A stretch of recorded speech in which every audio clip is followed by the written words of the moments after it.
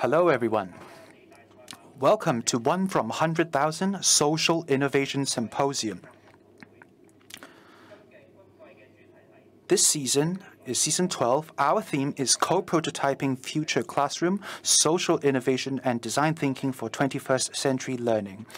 I am your moderator today, Jonathan from JCDC, the Jockey Club Design Institute for Social Innovation. In this season, we would conclude the past experiences we have gathered over the few years on social innovation. We have invited experts from many fields today to think about how to push for change in education and to expand the Im imagination of the public and professionals with regards to education, teaching and learning. Our team would also make a social innovation learning tool handbook. And uh, after this symposium, we will tell you how to get one. Before we start, I want to remind everyone that uh, on the top right-hand corner of our uh, live page, there are two buttons, Agenda and Questions. If you want to uh, pose any questions during the symposium, please use our Q&A function. Our guests will try to answer your questions as best they can. Without further ado, let us invite Mr. Ling Ka Kan, the director of JCDC, to deliver some opening remarks. KK, please. Good morning, everyone. We welcome guests both online and offline to one from 100,000 Social Innovation Symposium. Our theme in season 12 is co-prototyping future classroom, social innovation and design thinking for 21st century learning. One from 100,000 is a seasonal social innovation platform at JCDC. We have started in year 2018. The 12th season of social innovation is the last season of the first three years of our plan.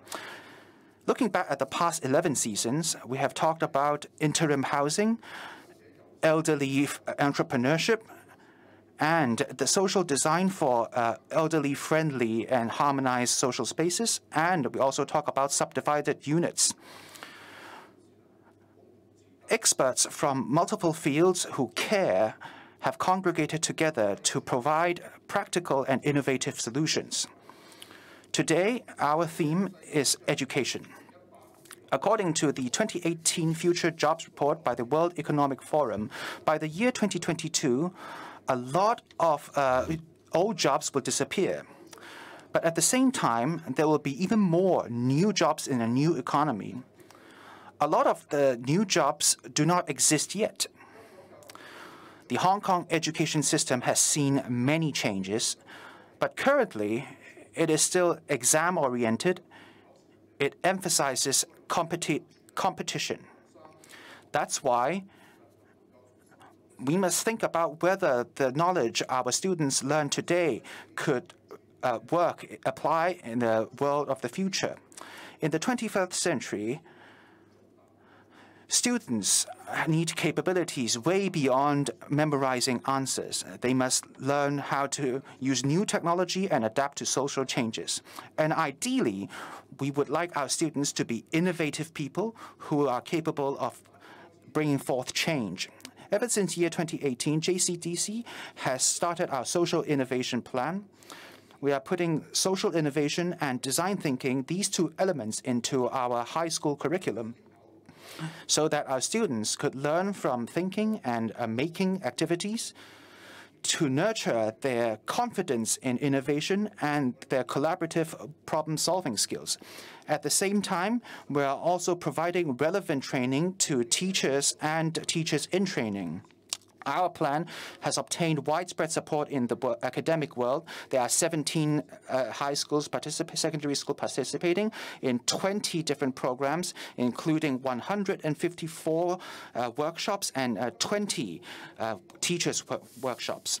Through this symposium, we hope to conclude our experience in the past three years and to promote this unique way of teaching to more educators so that they could introduce that into their daily education. I thank our guests very much for taking the time to participate in the symposium to share their experiences and opinions with us. Firstly, I would like to thank our uh, guest of honor, Ms. Betsy Lai, Principal Assistant Secretary, Civil Service Training and Development, Civil Service Bureau, HKSAR, to deliver the opening address. And I would like to also thank you to all our other guest speakers to talk about how to train teachers and students they include Dr. Patrick Yun, Senior Lecturer at the Department of Curriculum and Instruction, the Education University of Hong Kong, Dr. Jessie Chow, Lecturer, Faculty of Education, the University of Hong Kong, and Professor Siu King Chung, Associate Professor, School of Design, the Hong Kong Polytechnic University. Furthermore, we'd like to thank all participating teachers, students, designers and the representatives from the EDB to share with us their experience in education innovation. I would particularly to offer my heartfelt thanks to the 17 uh, higher uh, secondary institutions and these uh, principals and teachers who participate in our plan, and the NGO workers and the government representatives. Over the past three years, we have engaged in experimentation together and to bring forth changes in the education sector. And once again, I'd like to thank the Hong Kong Jockey Club for their sponsorship and support. Without them, social innovation would not be possible. Finally, I must thank all of our colleagues at the JCDC. In the past few years, they have been courageous and responsible in dedicating themselves in the work of social innovation. They have created great positive social impact. I feel very proud of your achievements. So the symposium officially begins. I hope that everybody will have a fruitful morning. Thank you. Thank you, Mr. KK. Next, we would like to invite Ms. Betsy Lai, Principal Assistant Secretary, Civil Service Training and Development Civil Service Bureau, HKSAR, to deliver the opening address. Ms. Betsy Lai, apart from uh, being responsible for the uh, Training and Development Bureau at the Civil Service Bureau, He's also responsible for assessment and uh, training policy and to um, develop new civil service training institutions. Today, Ms. Betsy Lai will talk about building future workforce capabilities and her view on the current uh, landscape of learning. Good morning, everyone. Good morning to guests both online and offline. Thank you for the Polytechnic University and KK giving me this opportunity to share with you my uh, how I feel about the work and the future world of human resources. So my topic today is uh, what what kind of capacities are necessary in the future workforce? So let's take one step further. Just now, KK has talked about the 2018 World Economic Forum report, and now I'm talking about the World World Economic Forum report in year 2020. They have uh, some updates so just like what KK said, in year 2025, we would face two major uh, impacts. Firstly, because more and more things are digitalized and automized, and that would create an impact. And secondly, because after COVID-19, the economy is deeply impacted. And as I've said before, the report stipulates that uh, a lot of jobs will disappear, but we don't have to worry because uh, 9.97 million new jobs will reemerge. But these new jobs may not require old skills. They may require more advanced, more cutting edge skills, and we have to upskill ourselves our young people, how should they prepare themselves for the future world? We as uh, educators or trainers, how could we make preparations accordingly? So here I would like to bring up three points, uh, three skills which are considered most important. And this is basically my idea, uh, the idea that I have all along as well. So by year 2025, let me talk about the third point first. When we are facing difficult challenges, how could we solve them? And secondly, do we have the learning capacity? Would we proactively seek out learning? Is there a strategy, a direction when it comes to our learning? And most, most importantly, are we capable of analytic thought and innovative thought? So the future world, the future world of work will uh, will pose a lot of challenges to our students. We must change the way we think. uh, I would like to uh, talk about George Couros, an educator that I admire. Uh, this is something that he has said. Firstly, in the past, we have certain types of uh, preconceived notions in other words, we think that oh, there are certain uh, skills which we think is necessary. Say, learning the piano is a very good example. Some people may think, oh, I, I'm not gifted. I, I can't learn that. I, I won't be able to do that. I would like to learn other things. I have other skills. That's what type of preconceived notion. And secondly, we as trainers or educators, of course, we hope that people could nurture and grow and people could learn all sorts of things. Even if you are not talented enough to be a talented pianist, you could uh, work work hard of them and to learn piano. I see there uh, a lot of people who dedicate themselves into learning piano. They could achieve grade 8 in ABRSM. Even a lot of genius painters, they practice every day. That's how they become masters. So you have to have that growth mindset. And a newer mindset is that if we have this growth mindset, when we uh, work on this path step by step. Most importantly, we have to have the uh, mindset of a creator, of an innovator. So when we are learning piano, it's not just about fingering. We hope that we could create new music. This is quite interesting. So I'm a bookish person. I have a book club. Recently, we're reading books by C.C. Poon. Uh, and uh, I really like uh, C.C. Poon's work, and I actually I, I've newly acquainted uh, with made two new friends. Uh, they are working in the art world and they have created a musical with CC's uh, script. And some of them work on uh, stage design, some of them make new music, and they created a new project. And during our book club sessions, we really enjoyed our discussions and we talk about uh, what would the male protagonist look like. So people of different age imagines different different images. Like I thought it would be a bookish person, and they thought it would be a, a confident eye banker. So I think texts are very important. Texts inspire our uh, imagination. So as I've started, uh, everybody's Mr. Darcy is different. Every uh, everybody has different fantasies. So next, I would like to uh, talk about uh, three different things. Once again, I would uh, use uh, innovator's mindset, Well, a book by George Couros. He talks where he says that as an innovator, what kind of mindset must we have? What's the characteristic we must have? There are eight things. So let me quickly go through it. Uh, they are interrelated.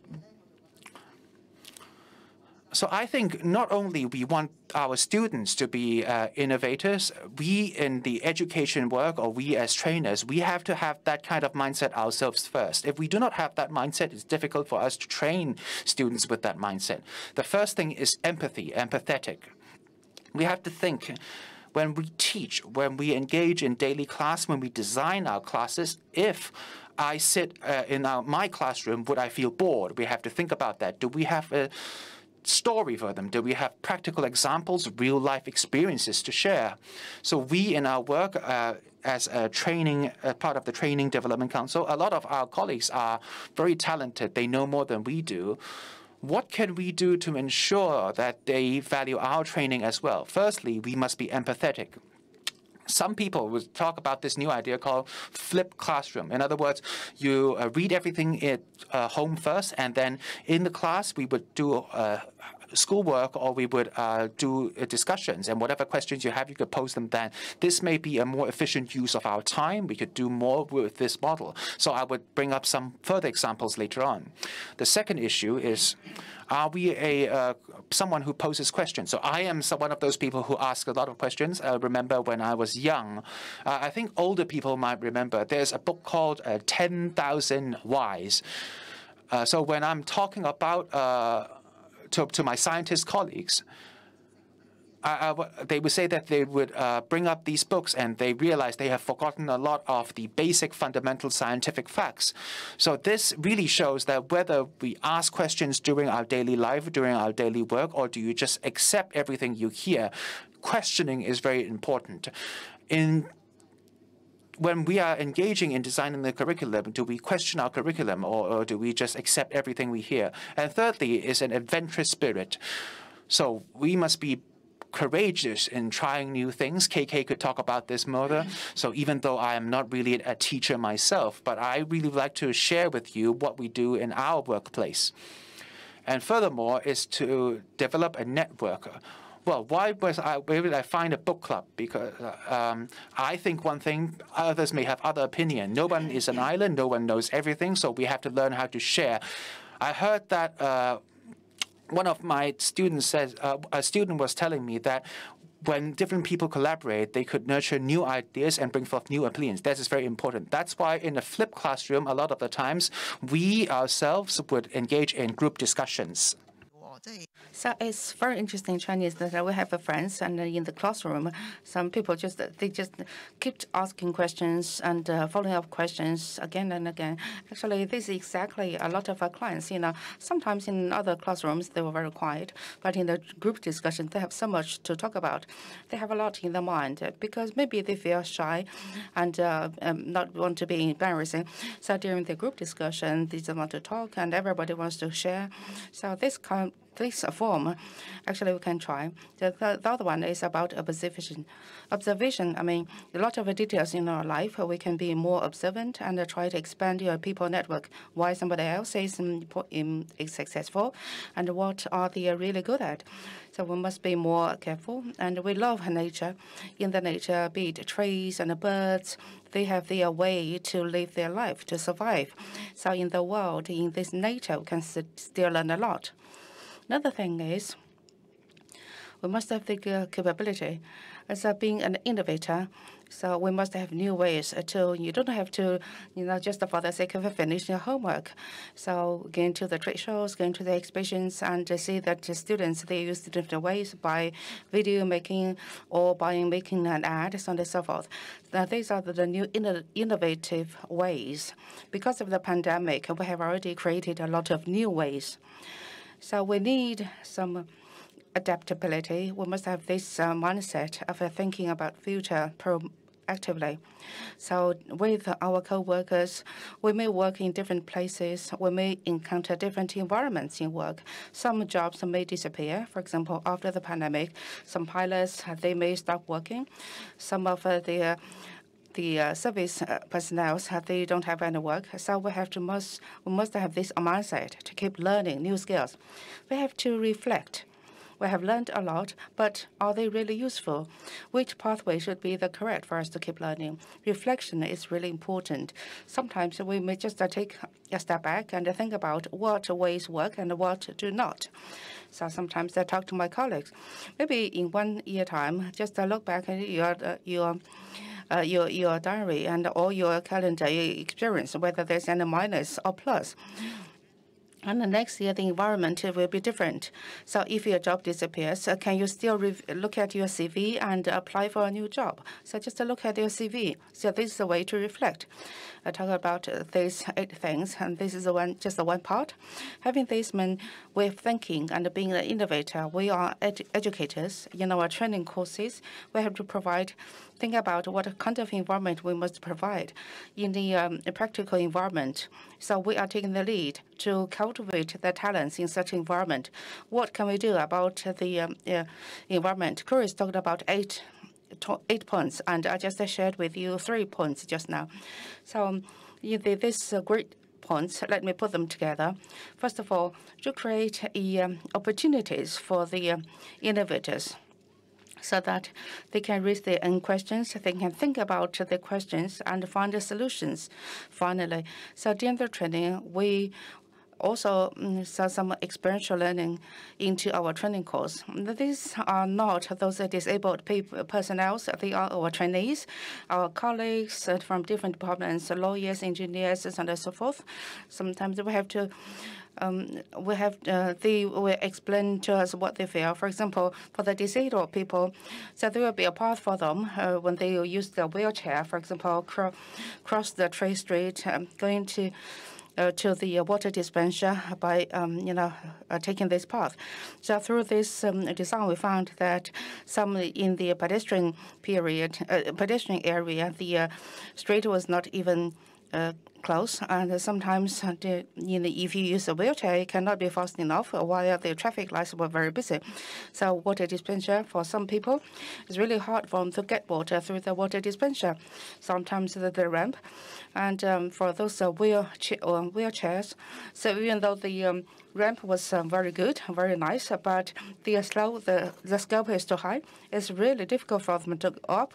And sometimes they just want to go to the toilet, but cannot go up.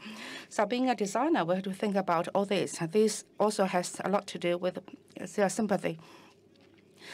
And uh, um, so why we say that we need connected learning, we have to know different people, expand our network so as to learn more things or different things.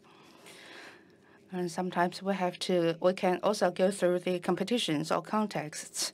So through the context, we can streamline what we have learned. Every two to three years, we have an excellent service award for all the public servants in different departments. People they can just uh, put up what they have achieved uh, for contest.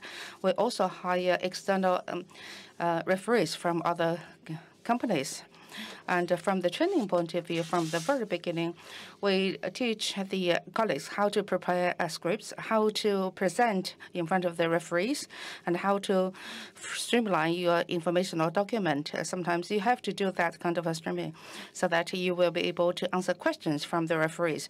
This is the training we provide. We have to think about what weaknesses we have still. There's another way at the context, we can learn skills from others by observing what other people do, how they present uh, their ideas. So we go to a different context that we found a lot of innovative things from different people. So we need this kind of environment in order to stimulate innovation instead of working in your office all the time in your department. We have this plan. We also work together with the uh, Education Bureau and uh, schools. We made some videos. We also went to different uh, trade shows or the uh, the uh, exhibitions and uh, the education um, um, Administration Bureau also encouraged Greater lot. It's over 100 items each year. So a reflection, we have a lot of training courses for people. And finally, I want to say that reflection in the past. Every three months in the classroom, we will invite our colleagues back to summarize after getting back to the office what have they learned. Because of the pandemic, we haven't been able to do it. We have to do it online. This is also an innovative way. Some work, uh, some colleagues just set up a website. They also also designed some some of their own logos and some homework. Some people they wrote some articles, uh, took some pictures, so that we have a platform for us to reflect together. So when they do homework, uh, when they meet, they can also uh, start talking about what they have learned. These are the new ways, and these are also very important. Okay, the third part, I'll be very brief. The uh, working environment is really critical or uh, important to the uh, to our uh, colleagues and what new requirements on their skills. For example, the observer observatory, and recently it was very, has been very hot, and um, this is the the weather changes is are really out of control. All of a sudden, there's the shower, um, and uh, there's the, the heavy rain, and uh, sometimes we, we cannot expect for the typhoon. Now we have already done quite a lot in research. For example, the uh, uh, for the typhoon, the Shandong, uh, we have uh, the um, the uh, black balloon signal for over 10 years. Ever after the Second World War, we haven't experienced that much. And uh, well, remember, I was in the Philippines, and 82 people died of it, and um, numerous people they uh, they were injured, and uh, tens of thousands of houses just uh, fell apart, and the trees also fell apart. But in Hong Kong, we didn't have um, so many casualties because of the early warning of the of the uh, of the typhoon. So being the uh, science dean, what they had learned or what they have done.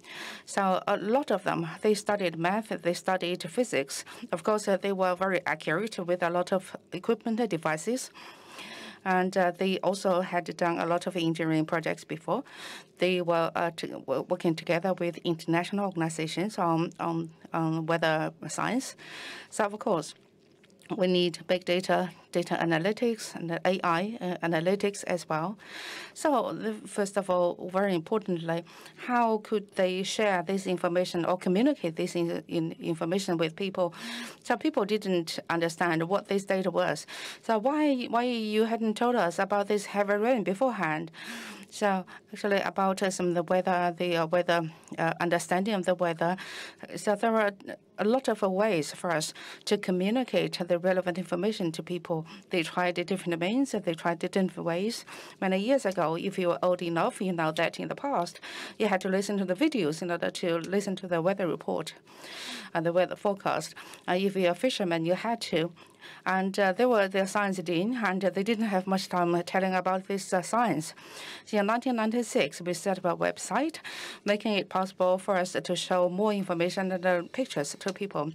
And uh, in 2006, and the mobile app was developed in Hong Kong. Um, maybe in Hong Kong, this is one of the most downloadable, uh, downloaded app in in the world. Very successful. I believe that in your mobile phone, you might you may have that app and then we have a YouTube and a Facebook, a lot of videos. A lot of the videos was done by the uh, colleagues in the observatory by themselves. So, for example, a lot of information, a lot of uh, science-related information was put there, including words and and pictures, and also the crowdsourcing as well.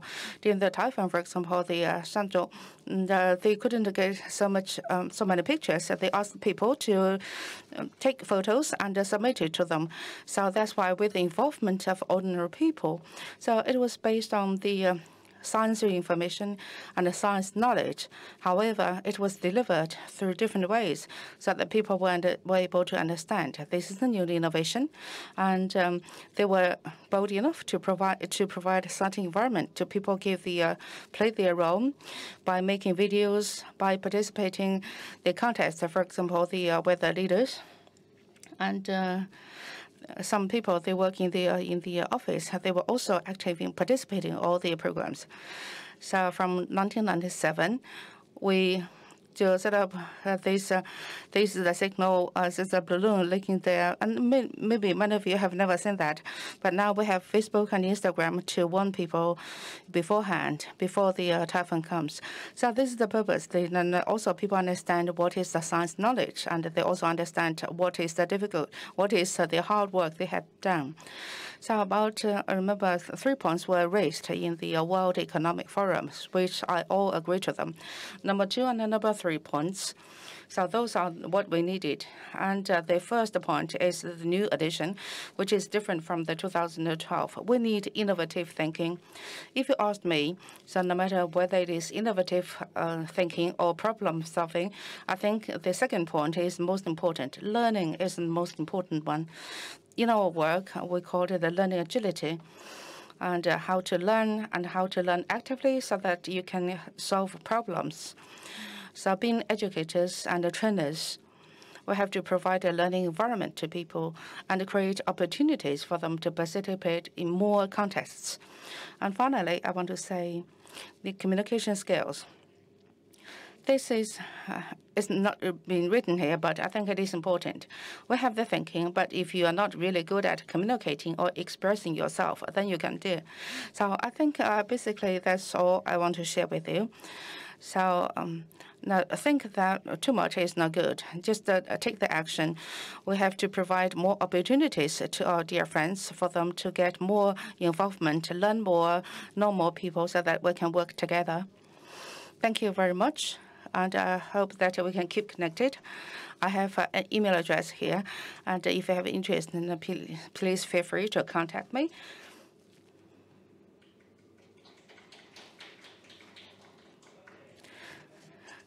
Thank you, Betsy, for your sharing. So before we start the uh, discussions, we would like to take a collective photo for all our guests.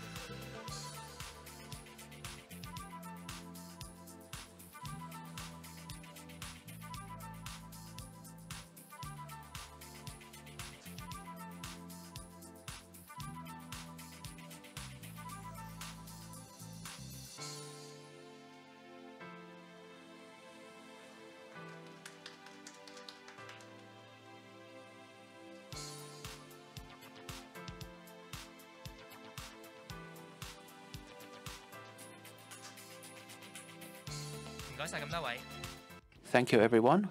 Without further ado, let us start the panel discussion.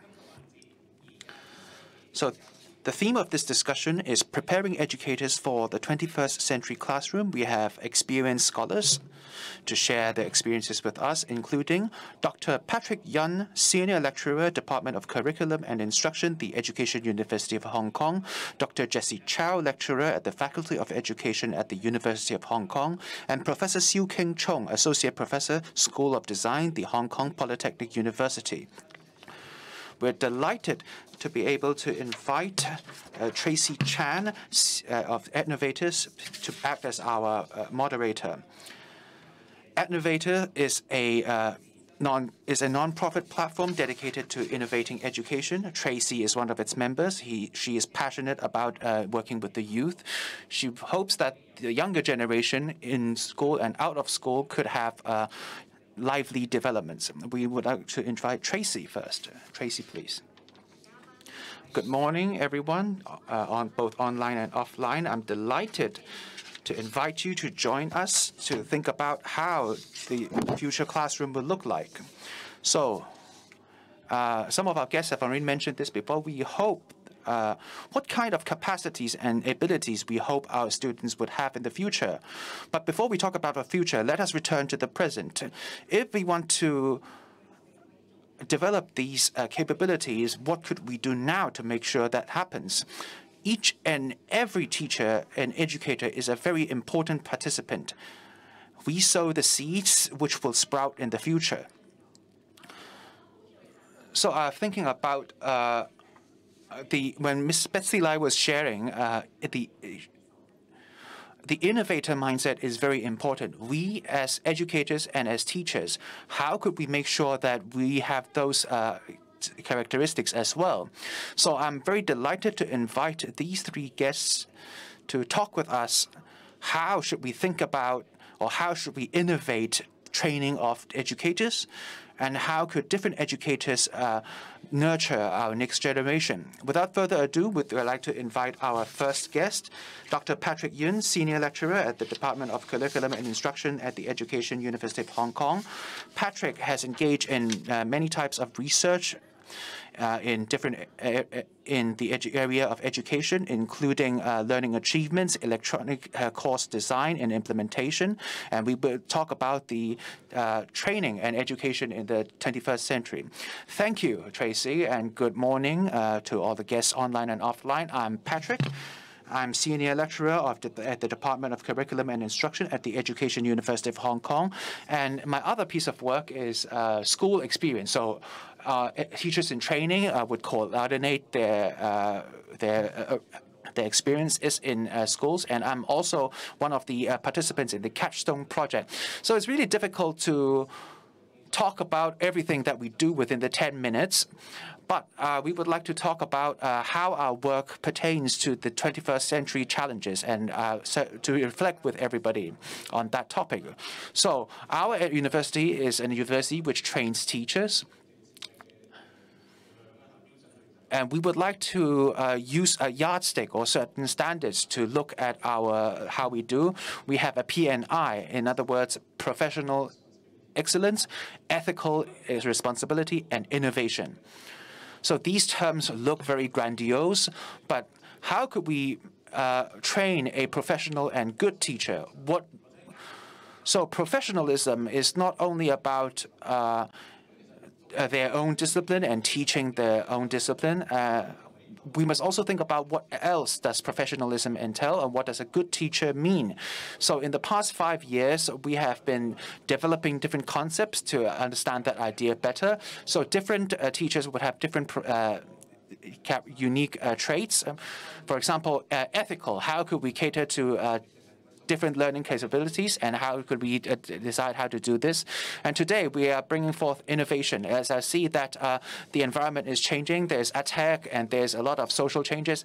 Innovation is about problem solving, it's about design thinking. So we encourage our students to do this. So we can see that uh, students have a, have the innovative mindset when they are trying to work on application. They develop uh, mobile phone apps to solve problems.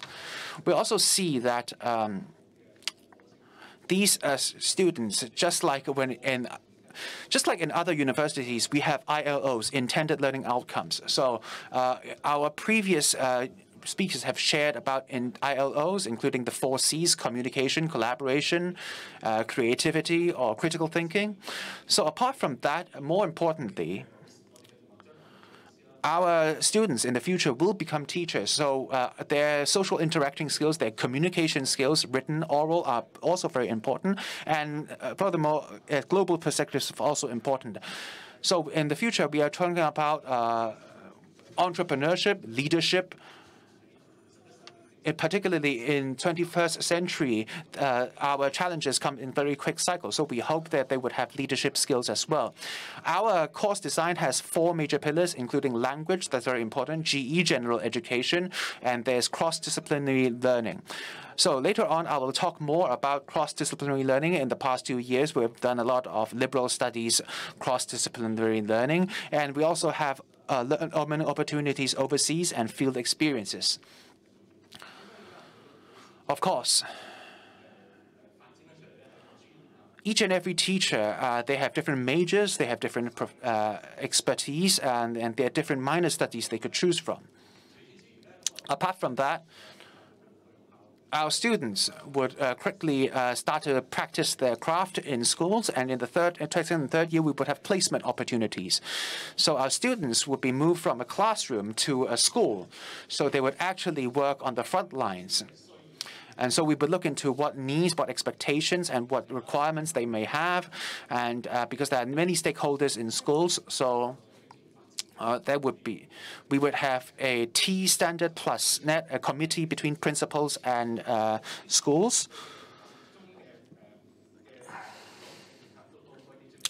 So we hope that our uh, our, stu our, students, our teachers in training could learn from the activities they engage in schools and the subsequent reviews.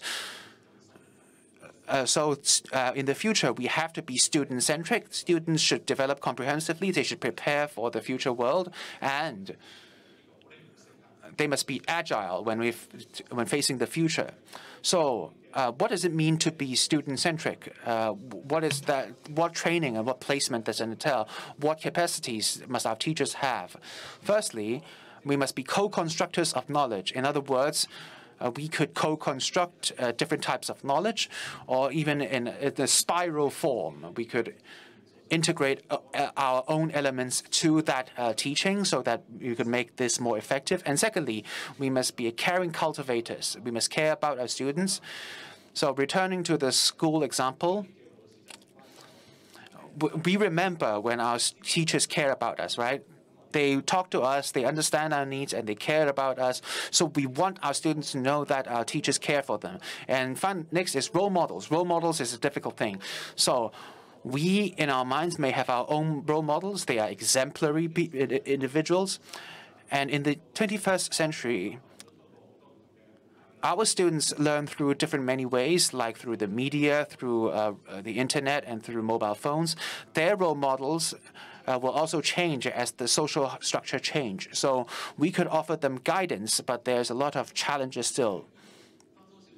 So let me uh, spend a little bit more time to share with you uh, what I see in the Education University as a developed trainer of tra teachers. So most of our students would become teachers, and some of them would come back to the school to engage in PTP courses. So I've been talking about outcome-based. So we uh, have an outcome-based strategy, and we also have a gynos, generics. So in terms of course designing and the program and the courses, and even uh, when it comes to individual uh, classes, we know we pay a lot of attention to what learning outcomes we have achieved and what skills that we cultivate. And secondly, we have uh, different strategies. We have been talking about this to other scholars. Apart from passing on knowledge, perhaps we have a greater responsibility to teach uh, people how to learn. Uh, in other words, meta-qualitative uh, in the 21st century, uh, knowledge and information is everywhere. We have to differentiate what is true and what is false and what is important knowledge and how should we learn that ourselves. So in other words, there should be self-regulated learning, self-motivated learning, or even self-assessment and self-reflection. We think that is even more important. We hope that our teachers in training could bring these elements to their practice. And in other words, we also have GEIC, General Education Interdisciplinary Courses. So in other words, are, these are cross-disciplinary courses. I would give more examples later on to tell to tell you uh, how we engage in cross-disciplinary training work for our teachers in training, so that our teachers would learn more about the world. And, in the past few years, we did in a Capstone project. I know that Polytechnic University has a very good education reputation in the Capstone project. So some of our graduating theses, apart from doing research, we hope that we could also make products, make designs to actually achieve something in order to actually help the school to uh, solve these problems problems. So we have to do these innovative catch these projects. We also have experiential learning. We also would have uh, professors talking to us about that in later on. Uh, a lot of our teachers in training, they are actually engaging in practical work, like working with uh, the Red Cross and other NGOs at uh, certain events, and to learn in that environment and service and exchange. And furthermore, I pay a lot of attention also to field experience when uh, students are training in the school, when they are working, uh, it's learning in school and working in the front lines is very diff different. A lot of the times, our students would uh, study for five years and they realize that the placement in the third to five year is very important. This is where they are truly integrated into the school environment. And there's also a co-construction model of learning. We try to uh, learn by doing and to propose uh, you know, practical cases. Well, I won't go deep into the textbooks, but as I've said, uh, there's a flipped classroom, right? So our students would learn themselves, and we would provide them with problems to solve. And furthermore, uh, there should be e-learning and practical education, e-pedagogy. So uh, in the past couple of years, uh, particularly during the COVID times, we talk about edtech. But furthermore, to, apart from edtech, edtech is just a tool. The more important thing is how do you design the course? How do you reduce the differences between the learning capacities and how do you care more about the growth of uh, students? That's more important. So here we are uh, focusing more on the design of our courses and I will also talk about e-portfolios and we also did a lot of AI projects. I'll talk about that as well. So let us look at our GEIC first. So in the final clause, uh, growing up and living in AI with AI in society, I participated in that. So we have uh, worked with our English teachers and we have worked with uh, MIT and mathematics teachers and and all together we made this GIC course. We had to try to train our students on AI and English and how to design the uh, and uh, the uh, we also introduced elements of design we did all this in order to integrate our students into the actual 21st century scenario. And furthermore, e-portfolio, you can see that there's an award. This is also very important. Apart from recording their own placements or what they were done in school, a more important thing is that we hope that they could be reflective thinkers. They could reflect uh, their own values, their own strategies through their teaching, and they could achieve personal growth. So all these strategies are things that we have focused on over the past two years. So I'll share with everyone, uh, you know, how uh, this is basically sums up my sharing with regards to 21st century education and its challenges. Thank you for Patrick's sharing. I think everybody is exploring different options into better training our future teachers. So.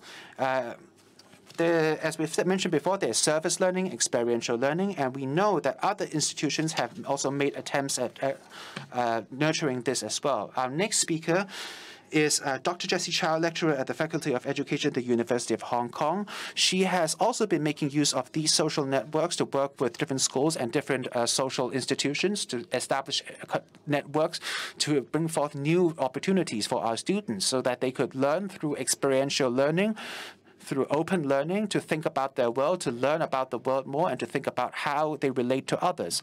Well, we hand the floor over to Jessie. Thank you, Tracy. First of all, I must thank the invitation from the Jockey Club. Uh, Poly Jockey Club. So uh, actually, two universities, uh, two schools. We have done a lot of things in similarities. I would like to share with you. I'm working in the University School of Education, uh, Hong Kong University, and uh, we focus the great a lot on the uh, practices. We focus great a lot on the third tier of learning, the communities. So what is it?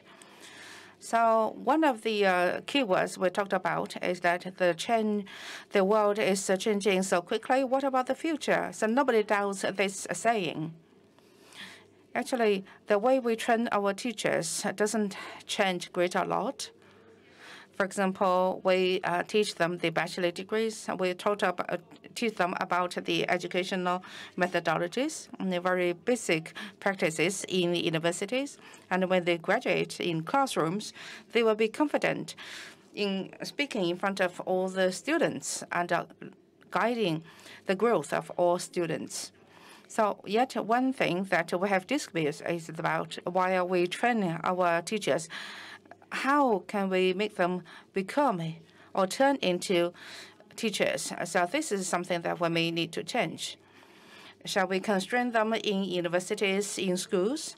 In that case, then we will miss the most important opportunities in terms of experience, social innovation, as well as a lot of um, lot of new knowledge in communities because they are new, they are new teachers, just like the skilled people. They are not just the skilled people. We think that they have uh, other uh, other qualities, the abilities to innovate, to adapt, as well as um, the uh, courage. In different uh, social, uh, in different classrooms, we have uh, a lot of students. They have concerns about the social, how to answer those questions. So having an uncertain future. So having a kind of aliveness. So we need to have those type of students and future teachers. About five to six years ago, those were our puzzles, and uh, at that time we started thinking about how should we change in training our teachers. So we we think that we must demolish all the four walls in, in universities, but mixing our training courses with community learning. So we did something quite controversial. So the community-based practice and learning is made into one of the mandatory courses, not only for the um, postgraduate, but also for the uh, graduate level. So for the PCD, PGD, you know, students, after they finish the four-year training, for the they came for the PGD training. For them, this is very very precious um, experience because this is uh, one of the mandatory courses. If you look at here, here, a lot of students. The, in South, they went to the theme parks. Uh, for sorry, in their local theme parks they were promoting uh, environmental protection. Uh, look at this picture. Some other students, uh, they went to the Tibet research, researching on sustainability. They also worked together with local students, uh, talking about the impact from over-traveling. Some other students, they went to Cambodia and work with the uh, to work with the the grassroots about the people trafficking, how to help people so all this work for the external reviews, uh, so according to them, actually our work, our community-based learning has a great, a lot of a moral agenda inside. We also discovered that through the community-based work, we greatly improved the students' their teaching readiness. After all, our students, they are from different communities, and uh, getting them involved into communities earlier just to make them more confident so that they will be able to deal with different students in different environments. We did research and got data. We've discovered that through this kind of experienced learning, they grew and uh, they grew they, they grew a lot of capacities and competence that are needed in the 21st uh, century. For example, ability of innovate, of reflect, and as well as the confidence of being a future teacher, as well as sense of responsibility and teamwork. all these qualities, according to the economic the World Economic Forum, these are the competence and the skills that will be needed in the future. What about our methodology, our community-based, experience-based learning? So one of important things among many is that uh, this is the mutual benefit relationship it's not beneficial to our students only. It's also beneficial to the communities for those different organizations. So we need to have this mutual benefit relationship between them. Different NGOs and organizations, they work together with us, innovating knowledge in this our teacher training program. And uh, our in our cooperation, we are equal parties. So one of the things I mentioned before, we have mandatory courses, we have cross-disciplinary courses. A lot of courses were from different other uh, departments, and the students could participate. And we have scores as well. So we also took another action in addition to a grade that students participate and got A's and B's and uh, and the GPAs, we also give out pass and fails. Sometimes it is quite it is beautiful, and may not be that welcome because if it is just a pass and a fail, if you look at the data in the past years. We have a lot of uh, courses oversubscribed. A lot of students were from other university or other schools and other departments. So this made us even more confident on this experience-based learning. And we have a very strong sense of motivation in it because we could feel that there is the power of a change in it. Just as uh, Patrick said, reflection is very important. So among them, one important element is that students need to make reflections in different ways. You don't have to write down your reflection. You just like keep down some photo voice or different ways for the students to reflect about their identities. Now, finally, let me share with you uh, something, a person. I think so. Sometimes people are selflessness, spend a lot of time so I spent a great a lot of um, time and uh, taking care of our students and NGOs. So in the past few years, so these are the uh, footprints of our students. Our classroom is just like like a, uh, the uh, uh, global village or the village of the earth. So when we designed this course, Maxine Greene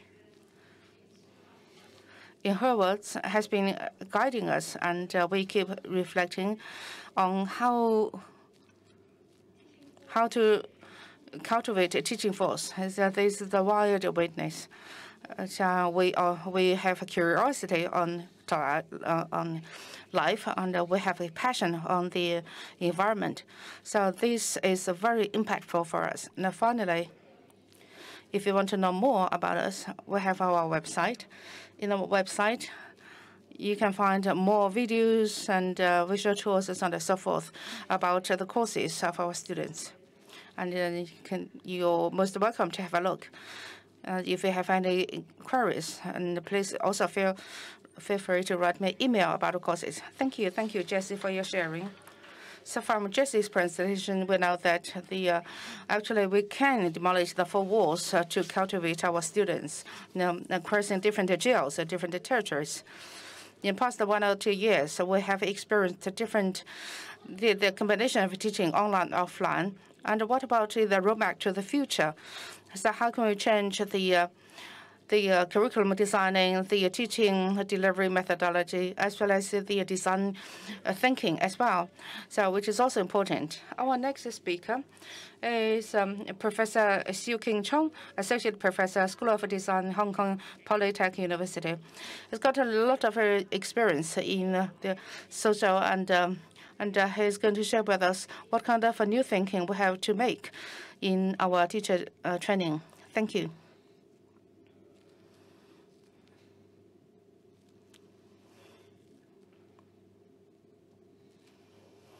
In non, from uh, 1993, I started making a uh, teachers program on the um, art and education, started training teachers. And uh, I have been running this program for over 20 years. And later, I changed this this course into a uh, a senior year recently. It's a top-up degree. So we call it the uh, Social Innovation Design course.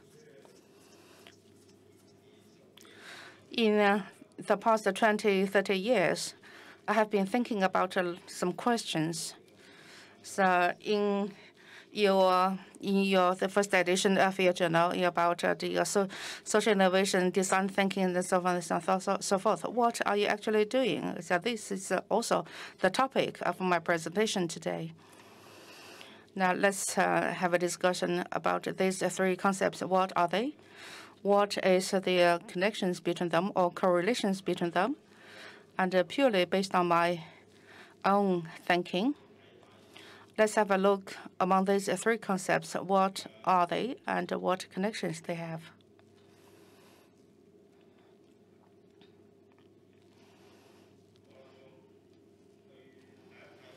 Now let's look at what is uh, the creativity. Sometimes I just scratch my head. So creativity in Chinese, in the context of Chinese, when we put we put it into you know 创意 for creativity. But if you think it deeper, in a Chinese context, creativity, this word, should not be put into 创意 only, because for me, 创意 is kind of misleading. Because when we talk about 创意 or creativity, you can think anything. I think out of the box. We just encourage our students to think out of the box. But if you think about the Chinese equivalent for this word, creativity, so we have create inside, we have construct inside, we have uh, the uh, invent inside, we have build inside. So construct and build, and then we have innovate inside, right? So seldom have we put creativity into the combination of all these words, because these words have included the the create, the invent, the build, and the construct, and so forth, as well as in, uh, innovate inside. So sometimes we think about the creativity, we think we can think out of the box. But for me, create, uh, creativity is that you just think about it, or all these things. If they cannot be implemented, then what is the meaning inside? So I really like discussing, for example, if I just holding my hand uh, here and uh, I'm uh, talking about it, if you don't just talk, if you don't act, then it is um, that is not creativity. Creative practice, cre creative making, these two are very important very important action or activity. You can look at it in this way. You have creativity, you can make something, but how can you really implement your ideas? You have to do, you have to really hand-on doing it. So you create, you make. So you practice. Practice is a, a very general word, but making, making is a very important media of learning. Or if you look at the uh, relationship between create to construct and uh, uh, create and create. For example, in the in the you draw a, uh, for example, some chairs in the picture. So how can we modelize different people using different chairs in different ways? Actually, this is a creative establishment. So the creative establishment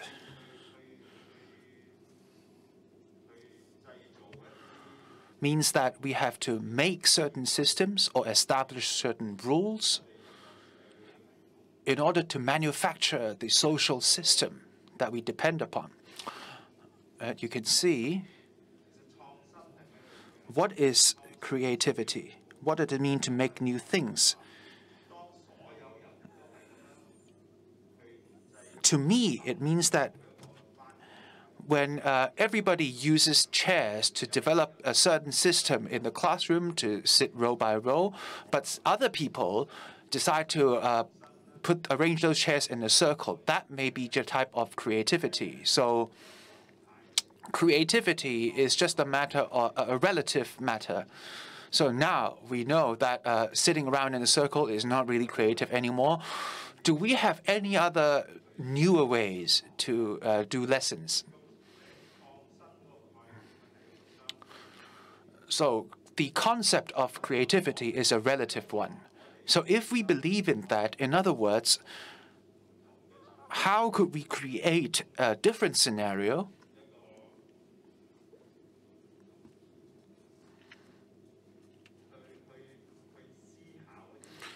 how could we think about uh, different creative insights? Uh, so this is actually a uh, very important perspective on education. So I have to go back to my starting point and think about what is uh, creative insight. So the word insight entails a lot of things. It could be about uh, foresight. It could be about uh, a perspective, a discovery, or or uh, uh, or to uh, be learned, or to have seen many things. It has many meanings pertaining to the concept of sight. So after you see all these things, and you could find gaps between these different things, that's how you gain insight and foresight. And that precisely is what we call insight. And I call that creative insight. A lot of the time we would say, oh, we don't have insight. We don't have insight because we do have not seen enough things. We, uh, we are limited by our can, and we do not see that there are a lot of things outside in the world which already exists. We just don't know of it, and we mistakenly think that we are creative. So I think creative seeing is only possible when you have you are very learned. So uh, obviously, uh, being learned to learn know a lot requires a lot of reading. We have to uh, engage with the world. We have to uh, observe our surroundings. Well, a lot of these techniques, we actually do not know how to bring those techniques into our students. So if you're asking me, how do you design and how would you like to implement 21st century innovative learning and teaching? I think people have thought a lot. A lot of our previous speakers have a lot of theories, they propose a lot of it, but implementation is where it gets difficult. Furthermore, we keep on saying design thinking. How do you teach design thinking? According, well, I have done more research and I've gained more insight into that matter. I believe we should actually ask, how do we induce creative insight in our student first? So would that entail reading more, looking at more at other things, etc.?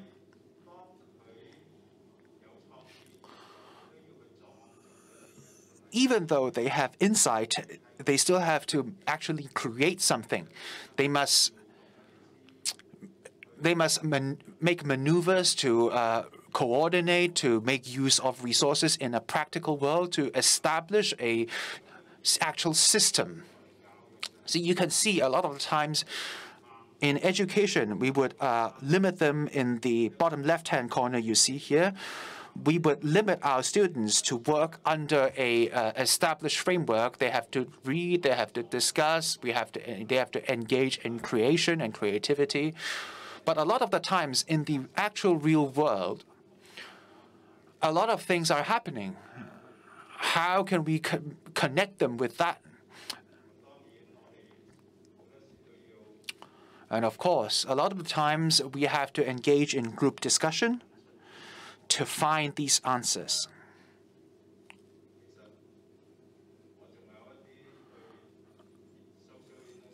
Actually, I have uh, other understanding pertaining to social innovation and social.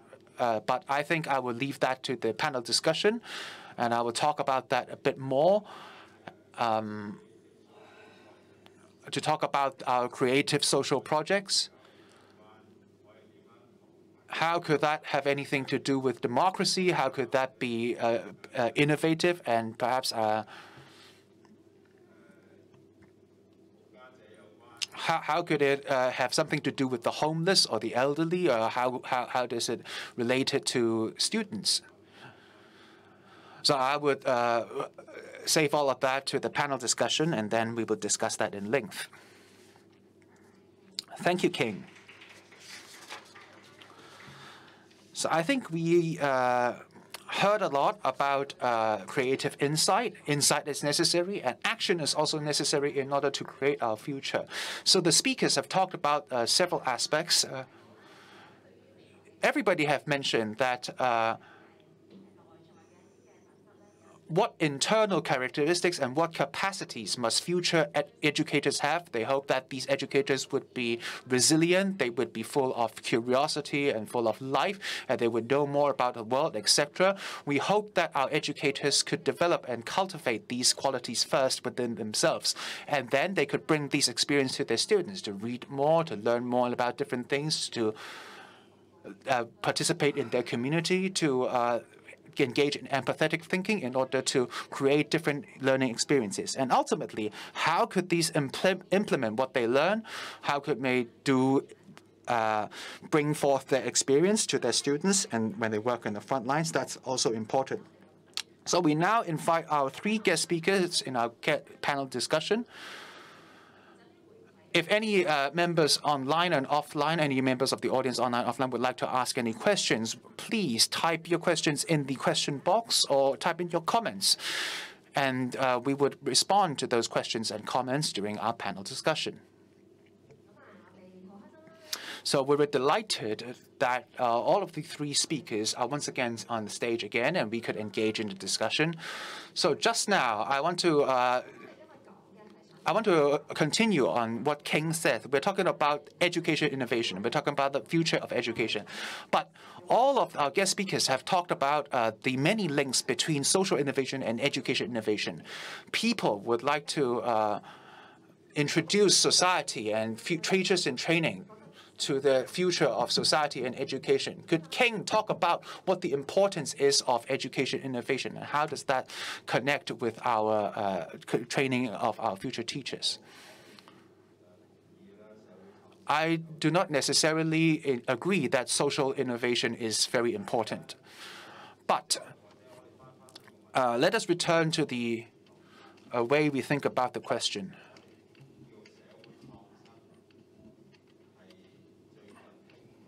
Social innovation is uh, just a, uh, the latest fad. If I could go back to my slide before, actually, I think a lot of these uh, projects in the area of social work, social welfare, is already a, a, form of social innovation. Basically, in the world of social welfare, they have to deal with a lot of society's woes, including the problems of the youth, but a lot of the times, innovation in social welfare or uh, their way of doing things is limited within a certain framework. But another, uh, well, another uh, area is known as the innovative space, like scientists, like artists, etc. They actually have a lot of creative social projects. These creative social projects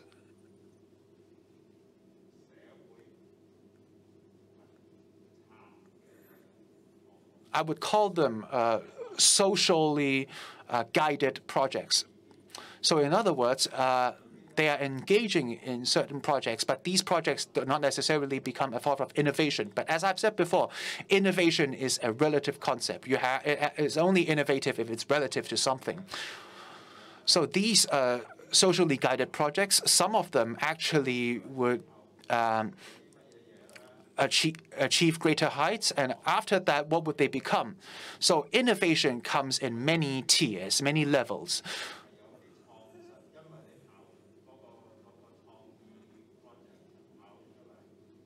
So because your innovation project has has achieved success, so certain people like uh, students and the elderly would benefit from that.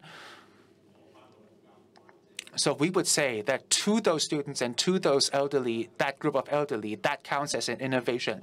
So in the future, if you extend that, if you benefit an institution or uh, that would be an uh, institutional innovation, if it changes a uh, social system or it impacts a social system, then it will become a social innovation.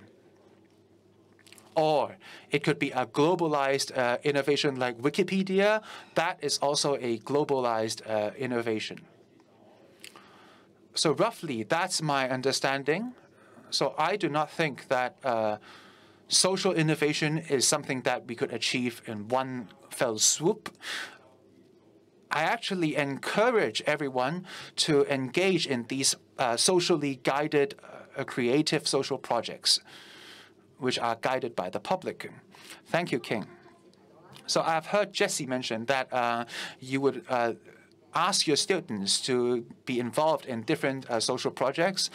Uh, in other words, different experiences which trying to re, re, uh, trying to respond to social issues. Uh, why do you design your courses this way? So I think in a lot of education reform work, we would talk about knowledge, skills, and attitude. So I, uh, as an educator in different settings, I've worked uh, for many years in the education sectors. I realize knowledge and skills could be learned online or could learn through could be learned through experience, but attitudes are very difficult to change. So we I've been working at uh, the Hong Kong Un Education University, uh, Hong, uh, working in Hong Kong University for several years. So I think these social experiences could really change the attitudes of our students. So that actually reinforce what we know to be that actually reinforces our belief that we are doing the right thing. And in the past few years, a lot of our colleagues have been providing relevant courses for our students.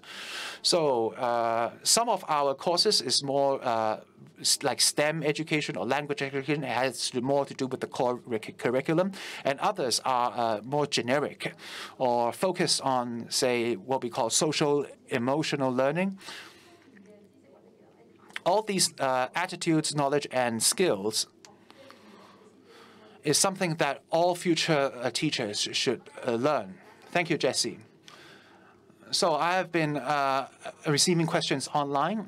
So we all have a, a, beautiful vision for the future. We want to achieve that. But let us return to reality, to our frontline teachers and our teachers in training they have in practice situations and challenges that they have to face.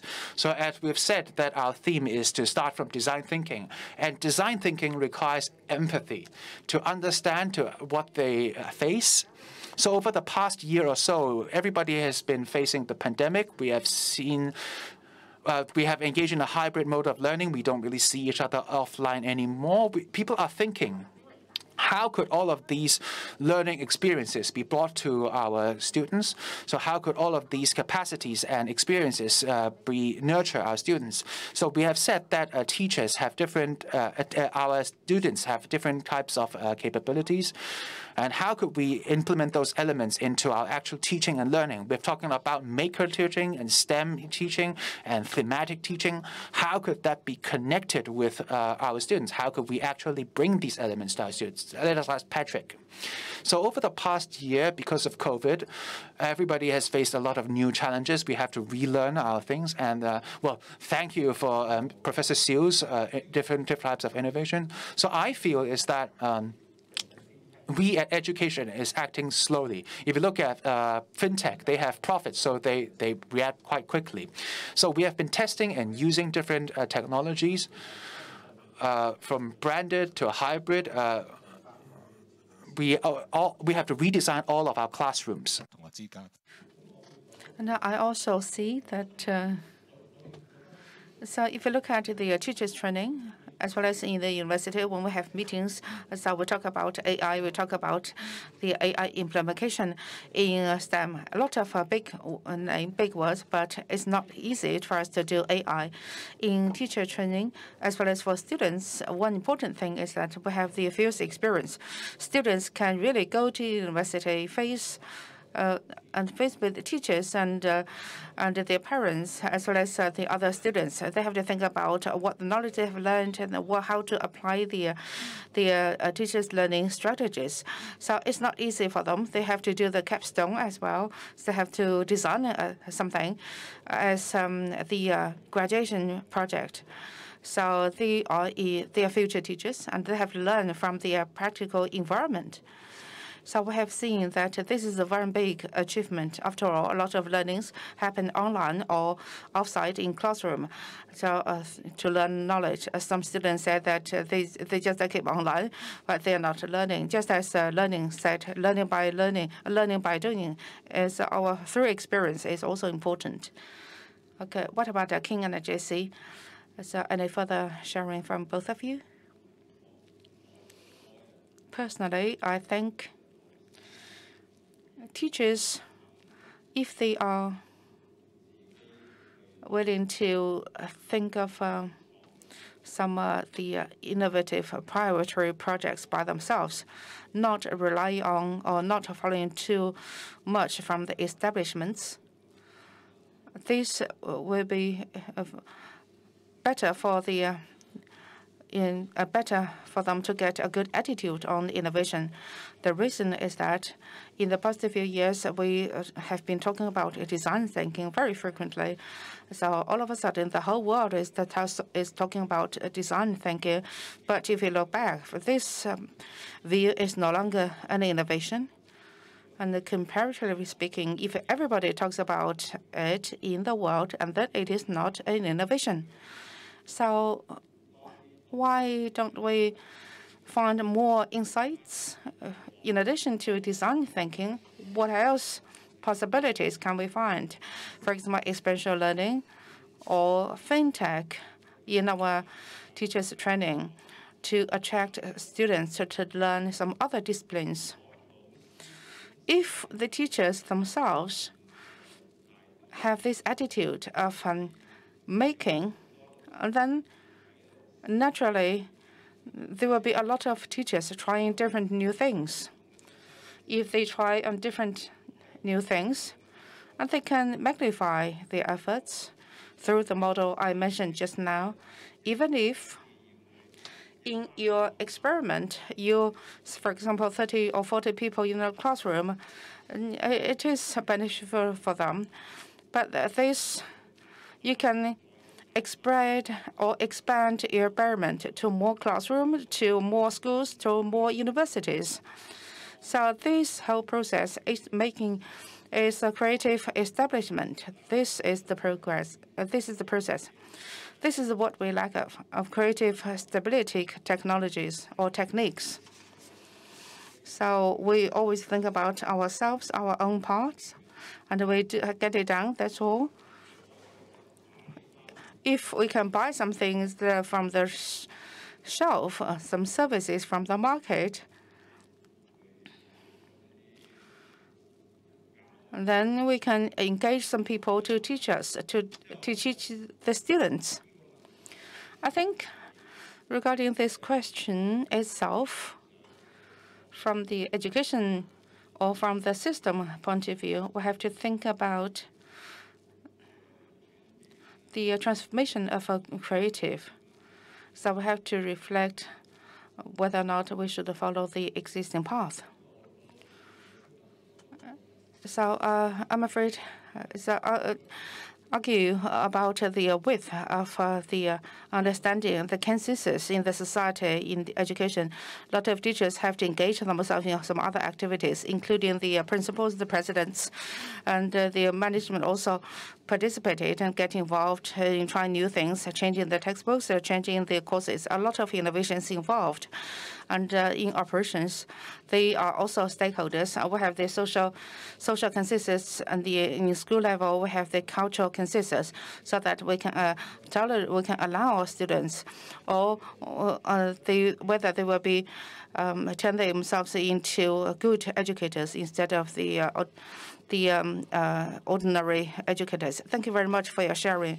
Actually, we have been thinking about what is innovation and what is uh, the purpose, or what is the motive of uh, innovation, and what method we can do it. Is a design thinking, is this a tool set, or this um, the toolboxes? So if this innovation, so can we really bring about the uh, growth and the learning for our students? If this is uh, this is uh, our initial thinking, if this is the start point, actually in our just around us there are so many different possibilities, so so that we can really uh, focus on what we can deliver to the students in their learning. I think that this is the major focus for us. We have to think about how to design the process, how to design the experience. I believe that we talk about uh, innovation, we lead, take lead in innovation. We must break through all the constraints in creating insights, creating experience. In addition to this, can we really create possibilities of breaking all the four walls for the new teachers, for the um, students who don't have so many experience? And so for different roles, different groups of people, how can we create spaces or opportunities to break through the uh, four walls so that we can really so that we can move forward to the future educations. Once again, thank you very much for your sharing, and thank you all online for your interactions with us. We will have another session with us. Please stay, stay tuned. Thank you very much. So after hearing your insights will, from all the speakers, I believe that you must have got a better understanding on the uh, education for the future teachers. So next round will be a sharing session. So it's about enabling constructive learning with tools. So they're going to talk about how to, by leveraging the tools, how to practice the uh, the real learning. So next session, our speaker is uh, Ms. Gwen Chen, project manager um, of uh, PolyU, as well as uh, Mr. Albert Yang. Albert Chang. Welcome, everyone, and thank you for staying with us for this presentation. Just now, KK and just now, KK already introduced to you all about the background of the project. In this session, Albert and I are going to share with you more details about this program, this course, how it is running, and uh, what achievements we have we have got, and some cases. So the students they are facing with the 21st century of environments, as well as a lot of uncertainties ahead of them. And the students or have that they can absorb more knowledge from a different sources of, of knowledge in addition to textbooks, and so that we can make the environment more relevant to them and more interesting. So for this, we just mix the uh, social uh, innovation into the textbook. We hope that the learning in classroom learning, as well as the knowledge uh, acquirement uh, acquisition, can build up, help them to build up the capability facing in the 21st century. We hope the students can innovate and be and make it a new power, a new driving force in the future. Talking about the innovation, the, the nature is when you're facing with complicated questions in reality, you can innovate and uh, resolve, resolve the problem some of the innovative methods. In this process, you need knowledge from uh, multi-disciplines so that you can think of new ideas. Meanwhile, the social innovation can also provide a, a true scenario for students to explore, to, ex to discuss, to learn from the reality so that they can get enriched knowledge and make their learning process more relevant to them. So practices our previous speakers are already mentioned about authentic uh, uh, experience learning. Through these learning methods, students can get more devoted, devoted into learning and create more possibilities. As for design thinking, it is a systematic way of thinking. And through, through resolving the problems, through the uh, problems or through uh, satisfying the needs for the future needs, and uh, they involves uh, the, uh, they, they involves uh, the designing the uh, the empathy, the uh, prototyping, and the tests. Now, just now, the uh, previous speakers already said when we use or when we adopt, apply this design thinking, we can also help students build up the empathy. So education needs empathy to design a course so that students can absorb the knowledge easily. In this project, students they have uh, group work. They have different possibilities, and uh, they can work together with other members in the team to develop some, for example, the cooperative uh, corporations and uh, collaborations, as well as reflection and resolving problems in the project. In this project, we have evidence-based research. We create a better learning environment. We also train, use the train-the-trainer method to help the future teachers, helping them with their learning. Our methodologies are based on the constructive uh, theories of learning. So these set of uh, theories is, are dedicated in building up a student-centric environment, giving them full play of, uh, of um, uh, creating possibilities and as well as the capability of observing and resolving problems. The students can apply what they have got in experience and construct their own knowledge. Meanwhile, they can absorb new information, new knowledge. Then talking about knowledge, the knowledge is still there in the students' uh, brains. It's not that the brain exists in the teacher's head and then pass it to the students. Their knowledge is still in the student's brain, and they generate the knowledge by themselves in a more active way. So just to echo back the constructive um, um, theology theory. So we talk about the constructive uh, methods. So one effective method is that we create a meaningful object or entity to enable students to absorb the knowledge easily. As for the establishments, that is, uh, we uh, establish some meaningful experience, and in a collaborative environment, students, participants share and uh, and share the way of uh, or process of learning. In our plan, we created a lot of uh, useful tools, some learning tools, to help the students these learning tools, uh, these are the meaningful objects. They can help the students in their learning, just like uh, designers in, in thinking and in doing things. This program, in this program, we hope that we can build up the competence students need for the first century, first uh, 21st century. In the past three years, our achievements, we tried this in 155 154 workshops in 17 universities, and over 4,000 students participated. And thus in four, four courses, including the core modules, science, art, uh, society-related courses as well. In addition, we also we conducted 21, uh, 20 trainer workshops 71 were on job, and uh, some others are the future teachers. As for our courses, we have applied the cooperative method. In this method, in addition to our programs, the students' participation in different projects, and we ran this workshop together. Specifically, we work together with the teachers in the participative uh, uh, universities. We design the workshops together.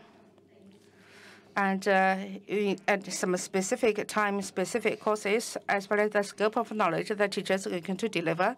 So this knowledge will be the main subject for the workshops. and it provides a foundation for our learning. And we would engage with our designers and teachers to talk about social issues. This issue is a real practical, real life issue, and it will be the starting point of social innovation. That way, we could link up social innovation to specific knowledge in uh, the core curriculum. And we would make use of uh, design thinking, like uh, our processes, our attitudes, and our capabilities in order to help our students to solve the issues at hand. So next, I'll hand over to Albert. Thank you. So uh, I'll be talking about well, so we have many different projects, and every time we uh, do these uh, workshops, there are a lot of participants. We will go to secondary schools to design the workshop alongside teachers. Firstly, we would identify certain issues which has to do, which is relevant to their own uh, subject. And in each subject, we would find a designer or a social innovator to lead that workshop. And apart from that, in each individual smaller group, we would have group facilitators.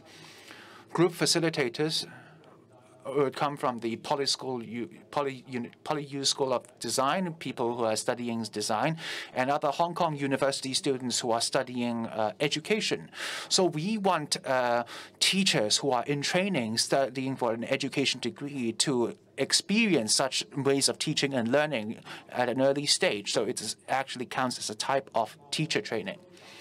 Furthermore, we have done a lot of train the trainer workshops it's part of our entire plan. Apart from sharing our own experiences, uh, we actually would like to, uh, in our interactions with teachers, we also learn other things because we ourselves, well, we're absolutely not uh, teachers ourselves. Uh, when it comes to more specific requirements within the curriculum, we don't know that very well. But through collaborating and training with these teachers, uh, through these workshops, which are not one-directional but a two-way street. And in those uh, workshops, we explore certain issues and we reflect on those issues in order to improve our project and our plans. So on the one hand, we're training teachers, and on the other hand, we are training our own team. And furthermore, uh, we our project is mainly design thinking oriented, but we also know that uh, because of uh, the own design thinking's uh, historical background, it is a very abstract idea.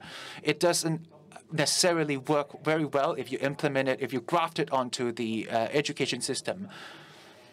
But uh, it is just thinking, right? So it's even worse than what Professor Siu has talking about. It is not when uh, it's not even talking. You just think. You're even talking to other people. So this is actually a bit misleading. Design thinking is not just a way of thinking. It's a way that designers work. So apart from design thinking, we would have design playing. Uh, so we would borrow uh, the ideas of gamification of education. Uh, not only that, we would also uh, use certain co-design methods in design theory. So we would like to engage in co-design projects. We'd find uh, designers and professionals and uh, people from different areas to engage in design. It's actually quite difficult to do. So we have to find a common point for people with different languages to do the same thing. So the best way to achieve that is through gamification. The stake is very low. Uh, everybody could participate it very easily. People would pay with uh, like chess or other games. And during that game, we would discuss uh, more uh, serious uh, issues. So we would uh, gamify everything we do. And finally, echoing back to what we have said before, learning by doing. Because we start from a design perspective, we think that learning by making is very important. We think that uh, when people think there is a, a, way, you can sit there and think, but when you are working and we are doing things, uh, you would engage in a different thinking process. So we put a lot of emphasis on uh, teaching these students or lead, when we are leading the students to do design projects. Uh, we can't just sit there and draw diagrams and draw graphs. Uh, that is not design. We have to actually make something. That is what design means. So this is one of the things, one of the elements which we put a lot of emphasis on. So furthermore, uh, we also, in our throughout our plan, uh, there is a, a hypothesis. We think creativity or the capacity to design is not a quotient like IQ or EQ. We think that uh, creativity is a behavior or a habit. So we believe that we must provide the right tools to nurture and cultivate such habits. So when uh, the students are engaging with these tools, they are actually subtly engaging with certain design processes. It's not like we test this person that whether they are naturally inclined and talented design-wise. It's uh, the creative person is a person who constantly engages in creative behavior. So we would develop different tools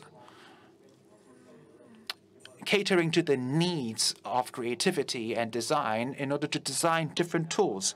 For example, the first one is uh, about uh, observation. So let's say you ask a secondary school student to go to a wet market to engage in observation. That's actually a very painful thing because a lot of things are happening. Uh, he or she does not know what he or she is trying to observe.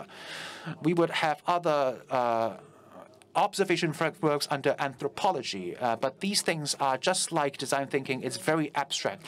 So we must uh, translate these uh, frameworks into practical tools. As you can see in the slide, on the third part, there is a uh, user tool. It's actually a very simple tool. Within the observation framework, there are different perspectives for people to engage in observation. And one of them involves in uh, looking at what users there are and what people there are, are involved. So people may have this experience like if you ask a secondary student to engage in interviews and surveys on the streets, it's a very painful experience for the teachers, the students, and the people on the streets because nobody wants this to happen to anyone. So we designed this tool. It's a uh, transparent film in the middle. You can take this. Even someone who cannot draw properly, you could just uh, trace the pattern uh, and to draw something, uh, a, prescribed pattern. To be honest, uh, this the products are the result is not stellar and you know it's not like uh, this person who cannot draw suddenly becomes a person who could uh, suddenly who becomes a person who who have drawn for many years but the miraculous thing about this is that well, if a student who does not draw, you ask him or her to draw something, the person would definitely say, I cannot do this. But with this tool, they would at least be willing to try. And furthermore, actually interviewing people on the street, surveying people on the street is very easy. It's a form of habit.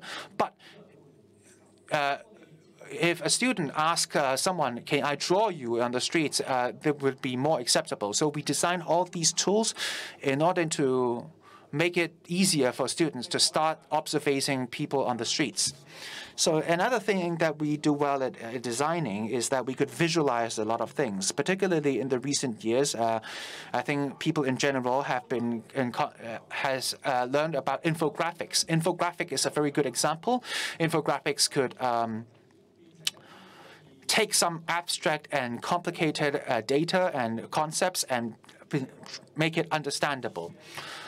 So one of the most primal infographics are diagrams. So if there's a very complex piece of information, but after it's converted into a diagram, you can see the trends, you can see the contrast within between different information and the contradictions contained therein.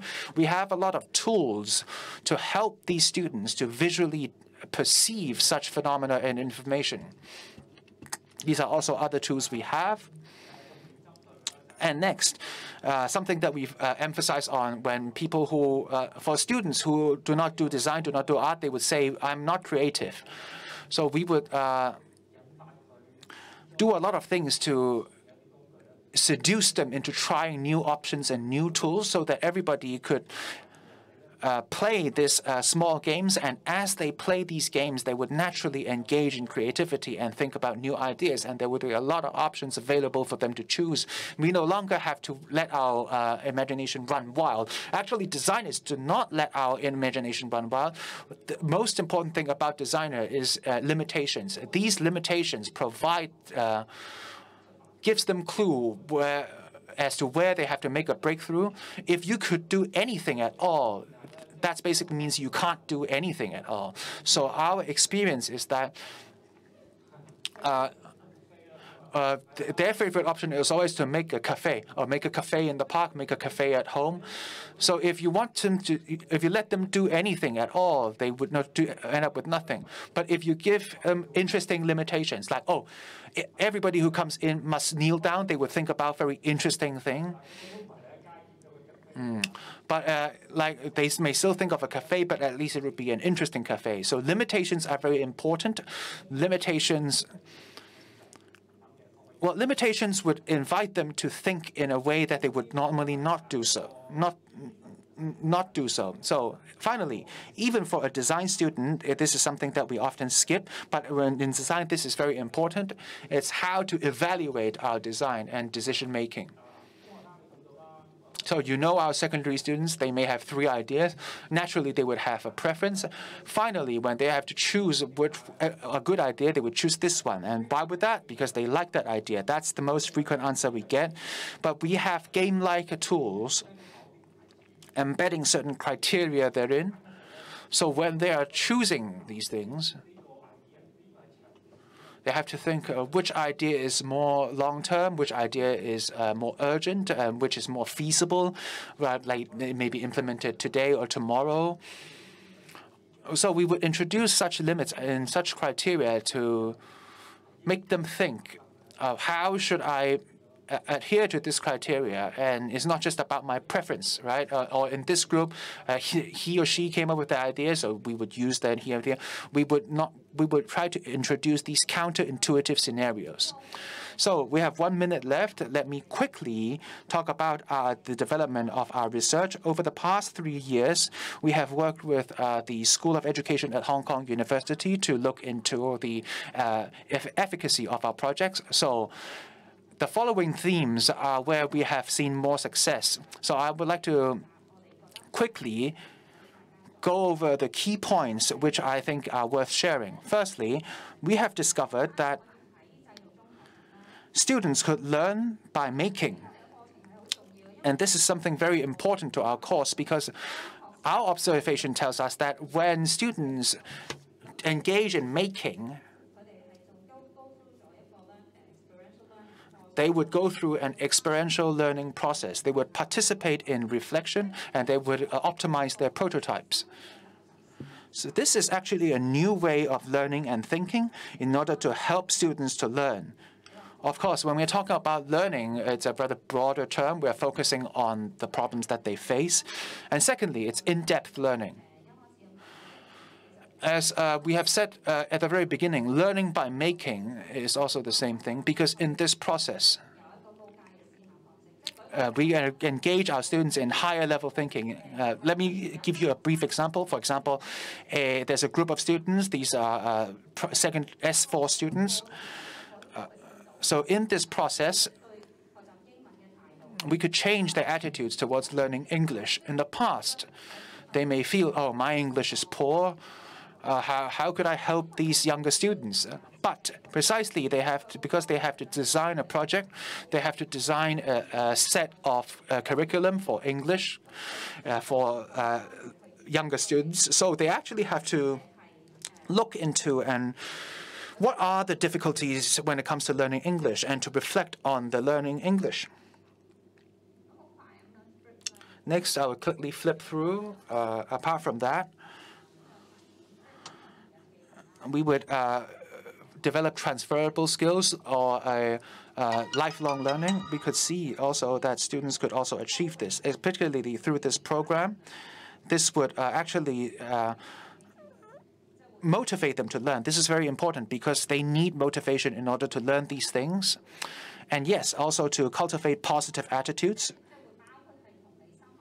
including empathy and patience. Uh, this is uh, also very important in the future workplace when they face future challenges. So uh, you could find those examples on our website. Uh, we would like to share more examples with you, but uh, we ran out of time, so we don't have. If uh, in the discussion session, perhaps we would have a chance to do that. And finally, whatever questions you have, please send an email to us. And And uh, if you can click on the link, you could go on our website. If you want to follow our program and follow us on uh, other social media, you could send an email to us. Please send us an email. Thank you. So uh, thank you both. Now we're going to take a 10 minutes break. After that, we will have two group discussions. The, on the line, you can find our two room options for the two group discussions. The group breakout session one and uh, two. In the uh, room one, we will have a conversation between students and the teachers. In room one, we won't have any simultaneous interpretation. In breakout session two, we will talk about the fostering student-centered learning approach. So the teachers and the students, as well as uh, the uh, textbook decision makers, are going to have this uh, conversation together. Just a reminder, at the end of the seminar, please fill in the questionnaire and leave your feedback to us. and uh, we have uh, the reward. We have the two sets for you, and uh, the winners will get a set of these two sets. Thank you.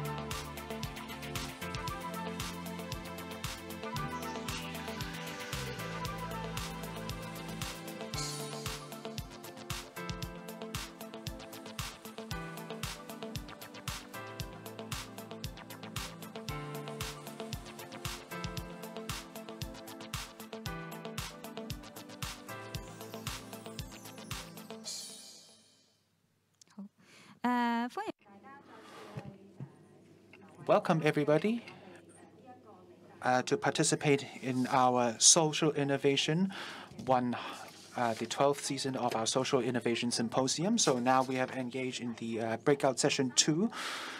Our theme is Fostering Student-Centered Learning Approach. I am Gwen, your moderator. So in this session will last for 40 minutes approximately. We have three groups of stakeholders participating in this session.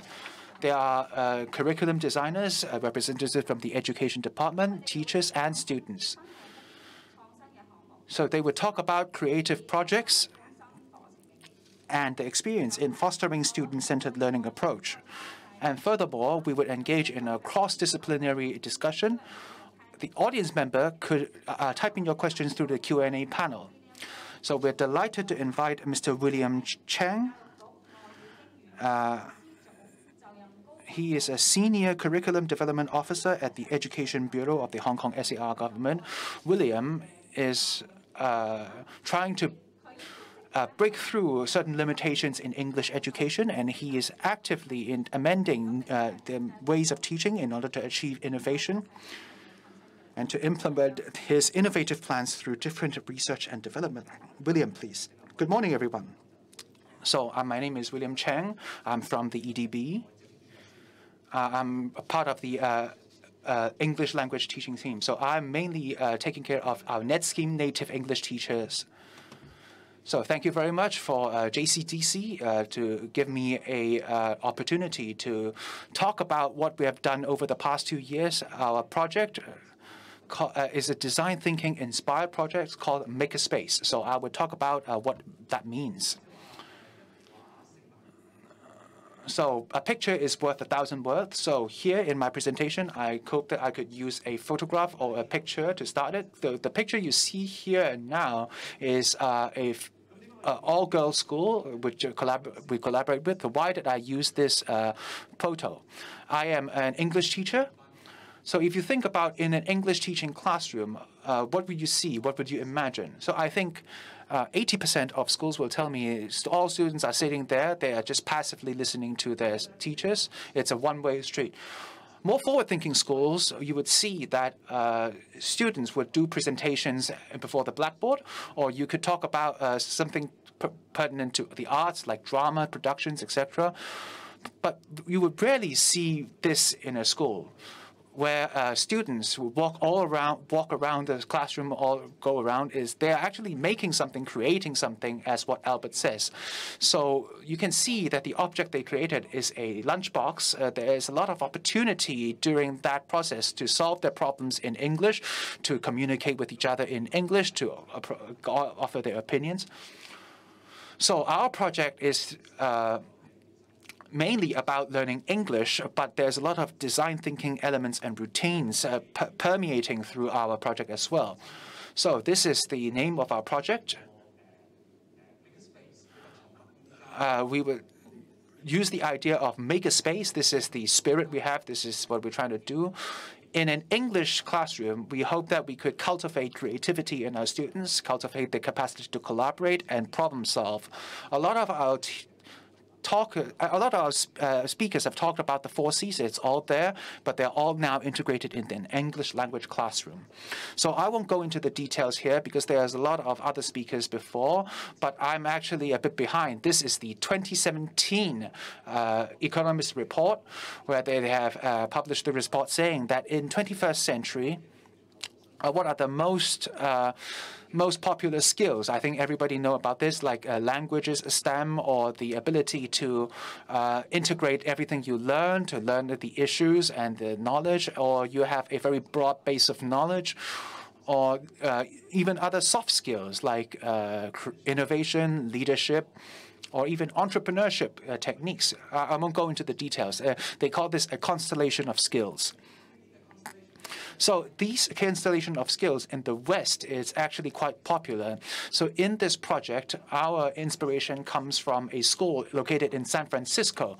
So this San Francisco school, their principal has said something quite uh, provocative. So he or she felt that in the 21st century, employers don't really care about high scores in academic tests. Actually, what they hope for in their applicants and the graduates, they want them to be voracious. To be voracious means that you thirst for something, uh, you want to solve uh, problems, you will have uh, different opportunities to face different uh, challenges, and you use your techniques to solve those problems. So it's not necessarily greed, but it, it, it's and also they have to have the tenacity to meet those challenges uh, despite the adversity. So in this project, uh, you can see that uh, how how does this uh, this is the project framework and are, we hope that all schools would have the elements you see here. So we would integrate all these uh, all these elements with design thinking in two ways to become this project. Because in our, of course, in our project, we did not mention the words design thinking. But uh, we, as a curriculum designer, we were trying to explore this issue and integrate these things. Uh, we are talking about English language education. So we've mentioned certain generic skills. I've mentioned the four C's and the problem solving. And here we are also promoting uh, value education. You can see amongst seven options, uh, we you can see four categories. We have four out of seven categories: perseverance, care, responsibility, and commitment. Four out of seven categories. When you are trying to engage in the future of work, you, you need these things. You need perseverance to persevere until you succeed. is not necessarily a skill-based project. It's also a value and attitude-based project. So more information of our, on our project. So this is a four-year project from year, to year 2019 to year 2023. So this is our second year of our project. We have six schools participating in our uh, in our plans. We have 17 teachers, and one of them are here. So involving over 500 students. Our target is for our seed projects, uh, we target our teachers. We hope that teachers could we could enhance the capabilities of teachers to plan their courses and deliver their courses in order to improve the English of our students. And you can see these are all very mainstream objectives. We're talking about the uh, creative space and techniques. And all of this has to do with uh, the four C's we mentioned and the P we've mentioned. And particularly, we hope that uh, student could have a creative mindset. And because uh, we, we, we after all in the English uh, curriculum space, so we hope that these elements could be implemented in the, the English curriculum as well, and the teachers could think about what are the good what are good techniques they could use in teaching in order to bring these concepts and ideas into the classroom. And finally, is assessment. How do you assess the students'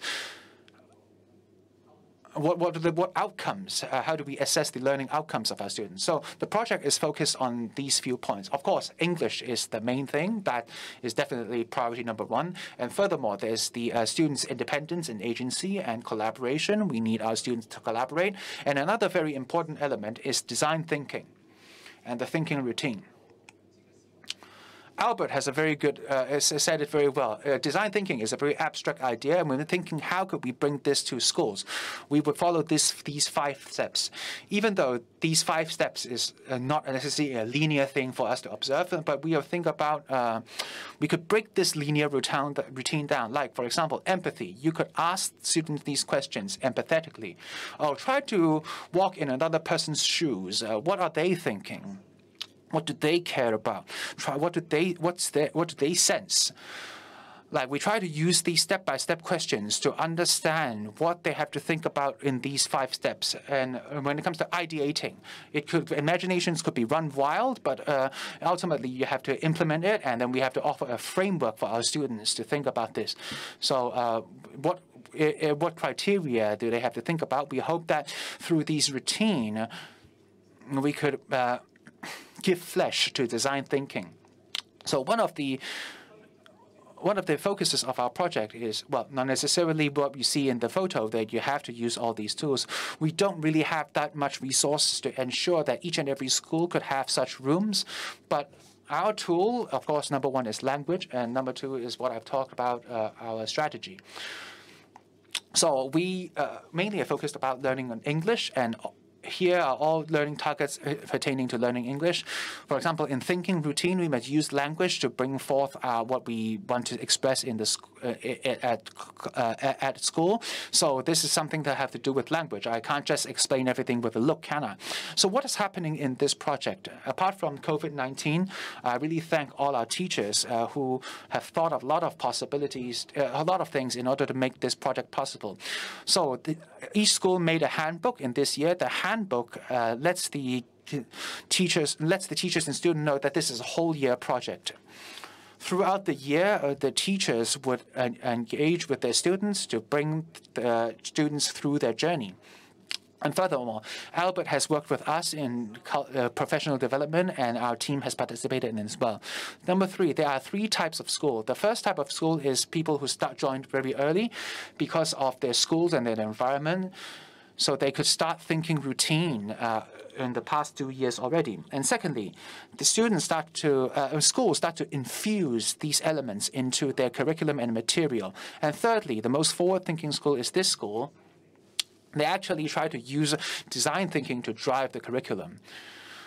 How does this uh, course organize? You try to use design thinking because uh, well, are, we have three types of schools. So you can see that our students have made these lunch boxes. I can show everybody. So we hope that what, we want to see in a maker's classroom, uh, well, the students should know what we should do. Making elements, we must do, make these things, we just create these things, and there must be a thinking routine, which is embedded in the design thinking process. And there must be a lot of opportunities to use English. I think that's basically uh, what I want to share today. If you feel interested about this project, you could scan this QR code or contact me. So I think I could uh, say a bit more in, uh, in Q&A about this project. Thank you, William. So uh, I think we, just like what William has said, uh, we, uh, I, Albert and I, we participated in your project and we have uh, offered our advice. And to us, this is a very amazing thing because I see that uh, in your seed project, William, you actually Im implemented this into the curriculum to help students learn English. Of course, uh, as everybody has heard, that under William's project there are two frameworks. Firstly is design project, and other is the thinking routine. So I'd like to ask William this. Could you share with us uh, how are how do these two frameworks help our students learn English? Could you uh, offer more examples to illustrate uh, how thinking routine works? So let me hark back to what Albert have mentioned. The, design thinking is really a very abstract thing. I think for adults, uh, this is not problematic, but sometimes we have to explain to teachers. I, I, forgot to mention this just now. When we're trying to sell this project on design thinking, our teachers would ask, uh, uh, uh I, I don't see uh, the, words design thinking in English curriculum. How does that have to do, what does that have to do with English? So ask them, when you're teaching composition, when you're writing a certain piece of text, there's a process. Um, the teacher the students have to know uh, who they are. Uh, the students have to know to who they are writing to, what elements they have to put in the text. Uh, and you cannot finish the thing in one draft, multiple drafts, and a lot of changes. So this is actually quite similar to design thinking. The difference is being that you have to break things down a little. For example, empathy. You think about what does your recipient want to get like as a person who filed a complaint, uh, what how did they feel? Uh, what do they uh, want? What kind of response do they want? So another scenario is imagine if scenarios, right? You have to when you want to improve your writing, could you use different words, uh, change your way of paragraphing? Could that uh, you know? Could that enhance the impact of your work? So I think these are certain uh, specific things where we could we could uh, offer these practical real life things to our students to use. So I think uh, think, feel, care. Uh, uh there are two. Uh, there are past practices complexities. So this is a more complicated thing, is to encourage our students to break things down and to look at that. It's not just, oh, this is, well, for example, you look at a remote controller, there are different knobs, different uh, electrical wiring, and you see how this all piece together. Or to look at the system itself. Uh, uh, parts uh, parts people interaction, uh, parts people interaction. How do uh, different people integrate themselves together to create a system? We are trying to bring that into our schools as well. Very interesting. So up next we would have a uh, cross-disciplinary uh, discussion session. So today we are delighted to invite uh, students and teachers from two uh, uh, secondary schools to participate in our sessions. They are uh, Ms. Yao, Head of Physics at St. Stephen's Girls College, and Dora, and also Ms. Suki Chan, Associate Head of Liberal Studies and Integrated Humanities at Toi Shan Association College, and Mr. and another student, Mr. Lau. So on the floor, we have the guests. Let me ask a question to the teachers first. Actually, I know that you know teachers they uh, they always think about the new skills or the new ideas to help students in learning.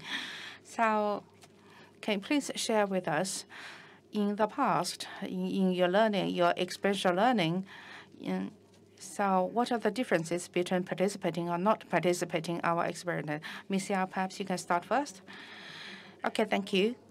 I've been a teacher for many years. So in the past years, I have been trying new ideas. And uh, we'll talk about knowledge and skills. Kind of a boring, but actually, do students nearly not need knowledge that much? We think about it. So in the classroom, do I, have, do I have to deliver that much about knowledge? I don't think so. In the past few years, I've felt that students' scores are not that important but how to face with the uh, future problems uh, matters really more. So more problems and more difficult to, to get a job. In the past few years, so actually design thinking is very popular. For me, one benefit is that I can take this chance and um, applying these ideas, telling the students that now we have new ideas to play with. So in Form 2, we have a cl classroom-based learning course. So we we find uh, different teachers from different courses to help with. So one big thing is that we cancelled the teachers uh, system. So because with the teachers presence, the, very often teachers would like to, you know, providing um, answers to students, guiding students in doing. But so what uh, you know, the advantages, or what are capable, or what what uh, what um, the advantage do the teachers have? Actually, teachers they are mentors. Teachers will tell the students, "Well, I don't have the answer. Just do it by yourself. Try it by yourself." At different stages, we help the students learning about resolving these problems. In the first year, we asked the students to resolve some fixed questions and the lifeline disease que uh, questions. In this knowledge, in this process, they involved about knowledge. Students learned it, loved it, and learned a lot about it. I felt that it seems that uh, rather than uh, defining the problems by, by ourselves, it didn't sound that good. So later we changed. We asked the students to think about the problems. If, you think it is a problem, uh, convince me. We, we do, for example, you can do some survey to show you what is the problem and what they're going to do. It can be a very generic idea. For example, is the messy in my room? I just want to do the uh, do the cleaning and meeting and uh, clean it up. And then I have you have to design what is the messy situation. A lot of benefits to the students through this way of learning. The is truly about problem solving. It's about problem. So whether or not it is a very big problem or whatever problem they they find. So they find problems, they resolve them, and uh, now they also realize whether there's room for them keep improving. So this is also a learning process for them, a stage for them, and also experience for them. It's even helped with the teachers as well. So we spent a year on it. Of course, the result, we see the results, and we were happy. So one good thing is that even if there isn't a very good result, even if it is a failure, still you could learn a lot in the process. Through this uh, SOUNO program, so actually, I uh, arranged for the uh, fourth year of uh, the uh, the high school, 30 students in the classroom. At this program, I also learned a lot. I think that uh, I could also uh, bring it to the to the Form 2 pro, pro, uh, program. So very big, uh, very big difference. So Form 2 is that they found their own problems of doing research about people around them. In the Form 1, we went to the communities. So in Form, in Form 2, they interviewed the uh, senior citizens, those retired people, asked them questions. So they had more emphasis inside and, uh, and they have to they have to interview people outside of the community. They have to find out what what are needed in the community. So from this idea to uh, doing the thing, as well as going to the community and the society, this is another level, higher level. And for me, uh, I also I also got learned a lot and also modified my other designs as well. So we will go on designing different programs to the lower level students. Ms. Chen, so I. Good morning. So talking about the situation in my school, so you know, in my team, in the um, past few years, we focus quite a lot on the uh, course as well as the issue-based teaching we also link the knowledge to the society or the, the life they have. Therefore, we uh, emphasis a lot on the experimental learning and uh, value learning. We stress that students must go to the communities, understanding what is happening in the design in the community, so that they can identify the uh, problems and define the uh, values. For example, the uh, minority nationalities, and uh, we went to the uh, temple and uh, the mosques, and we also interviewed the the people from the Southeast South Asia. We talk about the topics, the, the global citizen. We went to the uh, activities from the Red Cross, and uh, they could feel what had happened to the to the children. So we really got ourselves in this society, in the community. So through this, they interviewed people, different people, trying to understand what was happening in this society. Meanwhile, they also set up the uh, empathy and values in this process. I think for our students and for the teachers, the whole process is very beneficial, very helpful, because in the process of learning and, the and the teaching, we put the students in the center. They are the very basic point for it. They identified, they found the knowledge and the information. They set up what they wanted to do, and they streamlined all the information. So one step, uh, step by step, they learned about knowledge in the course. In this all project, I think one benefit is that uh, it is helpful for the teachers as well as the students in the experimental teaching and uh, the value learning the students were required to define the uh, problem and uh, the emphasis. So when they resolve these problems, they they wrote down the text in the, in the uh, classrooms, still within the classroom writing. However, they also gave us a lot of insights to all the teachers. So it is not only limited to the uh, normal matters designing models, they also did efforts in making. So after participating in the South project, and uh, in our teachers group, we have uh, new ideas. For example, we in our uh, in our textbooks, we designed our own projects and our new texts. And uh, the students, uh, they actually uh, designed a product. They really did it and made it. And uh, for example, the food, so that they can we can reduce the waste the waste from kitchens. So from so you know we learned this factor and we'll put it into our own teaching course. This program for teachers in terms of our curriculum designing, it is very important. For students, it is also important because remember, students they just cooked some food by themselves. This is very impressive, very interesting things. So in the you know in the workshop, the students they were they were walking, they were excited, and they when they bought the food, they remembered what type of food would be needed and how to boil, how to buy, what type of food would be nutritious and uh, could reduce less kitchen waste. So they just mix the, the knowledge from, from the classroom into their practice.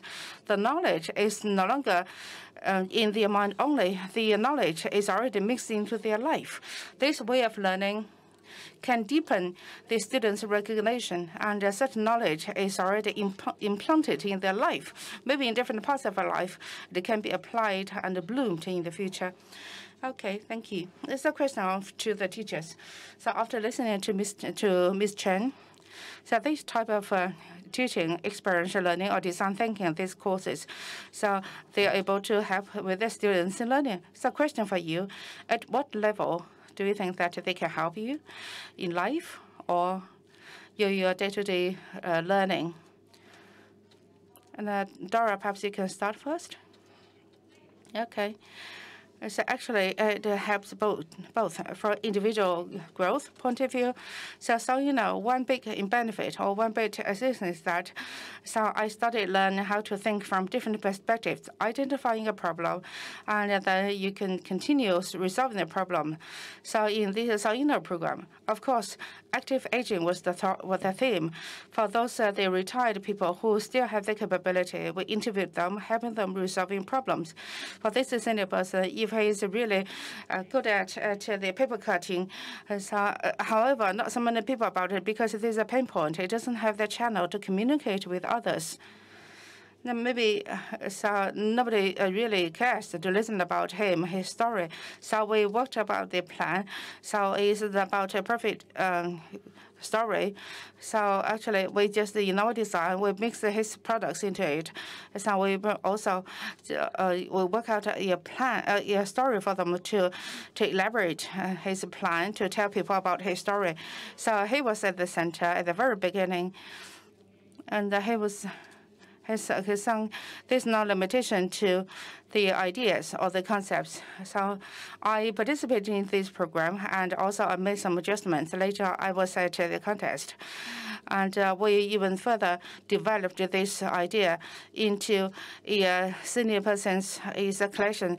And so we also participated the uh, exhibition showing the, uh, for example, paper paper cutting, the videos and so on and so forth, so that at the workshop more people can uh, access their stories. And and the student low. Okay, yeah, just as um, yeah, um, the other student said, it is very helpful for both sides, uh, both aspects. So uh, particularly in the life aspect, talking about the design in your life. So you, uh, many things that can be designed. For example, in our classroom, as uh, Ms. Chen said, that in our classroom, we tried the uh, cooking program. So we cooked the food. We didn't produce any unnecessary kitchen waste. So just as like from the classroom when I get back home, when I do, when I get back home, when I cook for my family, I think about reducing, uh, using better ingredients in order to reduce the waste from a kitchen. Okay, thank you. So back to the decisions, decision makers' role. The one question for you is that, in your opinion, because we need time, teachers need time for preparation you know, designing an activity uh, and as well as the experience.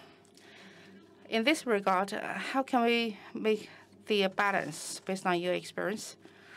Well, keeping a balance, is this is an issue.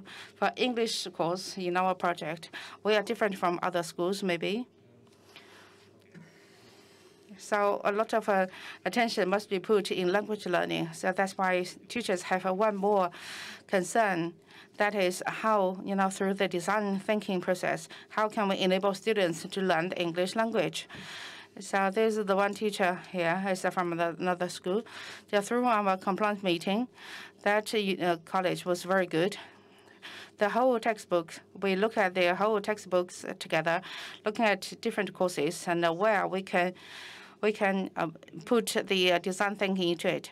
You know, the uh, textbooks are based on English language learning, so we hope that we can take care of both sides. So that, that was the second group of students. And so, yeah, of course, one of the projects is fitful for those type of students.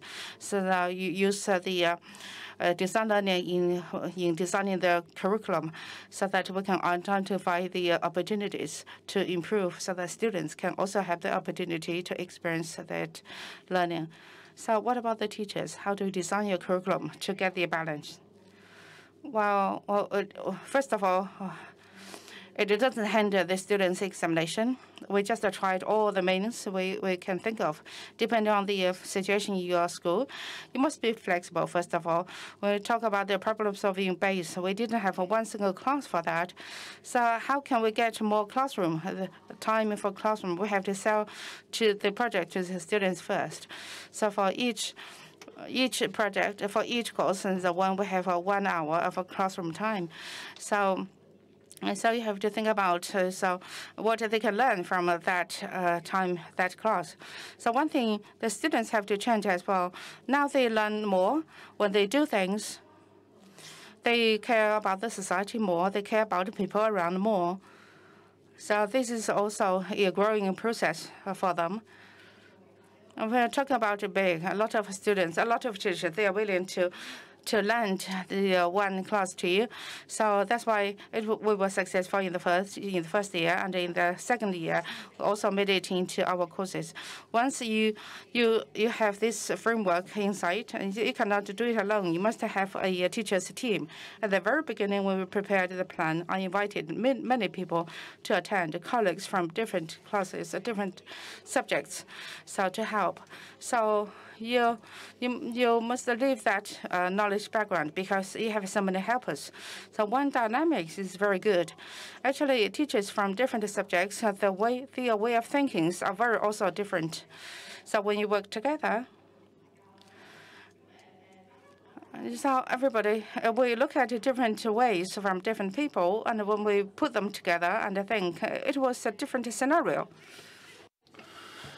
It's so different. I believe that if it were just me alone, there's no way I could figure all this out.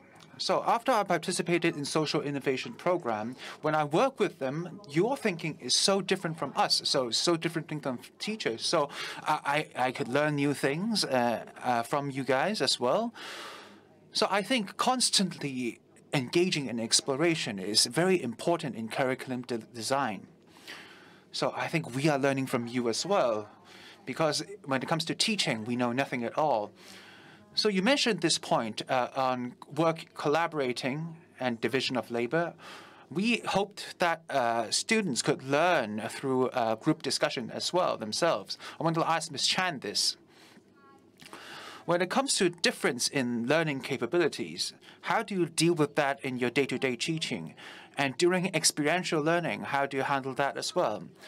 So in the difference in learning capacities uh, comes in all forms. Uh, in my understanding, it could be uh, some people learn quicker, or some people learn slower. It could be a difference in learning habits. So in our liberal studies team in our school, we put a lot of emphasis on a diverse input in order to respond to student needs. So this input is in our school-based curriculum is not just a text. Even within the same message, we would have all sorts of uh, images and videos we hope that uh, different students with different learning habits, when they engage with the same material, they could obtain the same understanding and we put a lot of emphasis on a diverse output of missions, learning missions. So some students may work better alone, others work better as a group. Some may be good with language, others good with math. Some people are good with uh, images. So in certain tasks, we would have a space for them to choose uh, what format they opt for to exemplify their own learning. So that's how we cater to those uh, differences you allude to. At the same time, the progress of learning is different. So as some of our previous speakers have mentioned, some sometimes we would engage in a flipped classroom model. So students who have learned uh, faster could uh, engage in this flipped classroom and engage with online uh, curriculum in order to learn uh, extended parts of the course.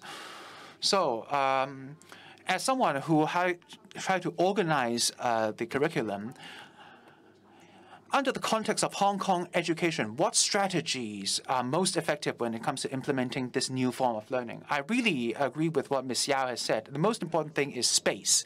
A lot of times when we go to the schools, when we work on these projects, particularly over the past two years because of the pandemic, people could imagine when uh, schools are switching into a new mode of education, what would be sacrificed? The first thing that would be sacrificed is these projects. I, I understand that perfectly. I'm not blaming the schools because the schools have so so much concerns. In response to your questions, firstly, we have when we come to discussing this with the schools, we have to be upfront about uh, what positive impacts we could offer this uh, particular subject, because this now is the third or fourth year of fourth year of our uh, plan. So we have more positive cases and more positive examples to show these schools and tell these schools that if you work towards this direction, what could you see? What could you achieve? So schools could see that what are the feasible outcomes when they engage in these projects. So it's a bit easier to persuade these schools. So secondly, uh, I mentioned in a lot of schools because English teachers are really uh, are really concerned that they cannot complete the curriculum. So this is quite normal. So we would actually go to the front line to tell them how this could work. They have to see it. It's not just an idea, right? We have to hold their hands. But the bad thing about that is that we have to go there themselves. Uh, so we have to lead the project. But if it's a good thing, it's not necessarily a bad thing for the first few years of the project. But by the fourth and fifth years of the project, we are we will let go of their hands and they could lead the way. And we are very happy to see that some schools could let NET teachers to lead the project and uh, they will uh, engage in this project in throughout S1, 2, and 3 in the next year. So all of these examples are very encouraging. They could inspire other teachers. Finally, I would like to ask the students, so you are the future, you are our future. According to your experience and your experience in learning, or what suggestion would you make to your teachers? How should they support your learning? And that would be which would be most effective. So let me start. So I feel students uh, should get uh, opportunities to take the lead. Uh, they could decide what to do, and the teachers could help them. So the first time when we actually uh, do these things, we learned how to uh, do woodwork, and all of that is something that we wouldn't get to do uh, under normal circumstances. So we hope that uh, teachers could give us more resources to try different things. It's not just about sitting there and listening to a lecture. Uh, we would have more opportunities to uh, to do such workplace learning. We hope that there would be more scenarios for different uh, different students to interact and uh, use their hands. Uh, that would be beneficial to uh, progress of learning. So 30 seconds, please, Mr. Lau. I hope that uh, I, uh, my recommendation to the teacher is that they should give us space. And we, the students, could establish rules ourselves and to set our own learning goals. And subsequently, in this space, students, based on what they have learned and what information they have gathered, they could uh, make models or write uh, pro, uh, write reports, and they would have more opportunities to realize their actual learning. that's very good. So here ends our panel discussion. Thank you very much for everybody's participation. So I think after uh, the sharing of experiences from our multiple speakers, everybody has learned a lot. So here we are at the end of our symposium. Once again, we would like to invite Mr. Ling Ka Kan, Director of the PolyU Jockey Club Design Institute for Social Innovation, to deliver concluding remarks. So once again, I have to thank uh, all of the speakers who have participated in our symposium and to all of the students and teachers who have shared their experiences with us here. So today's symposium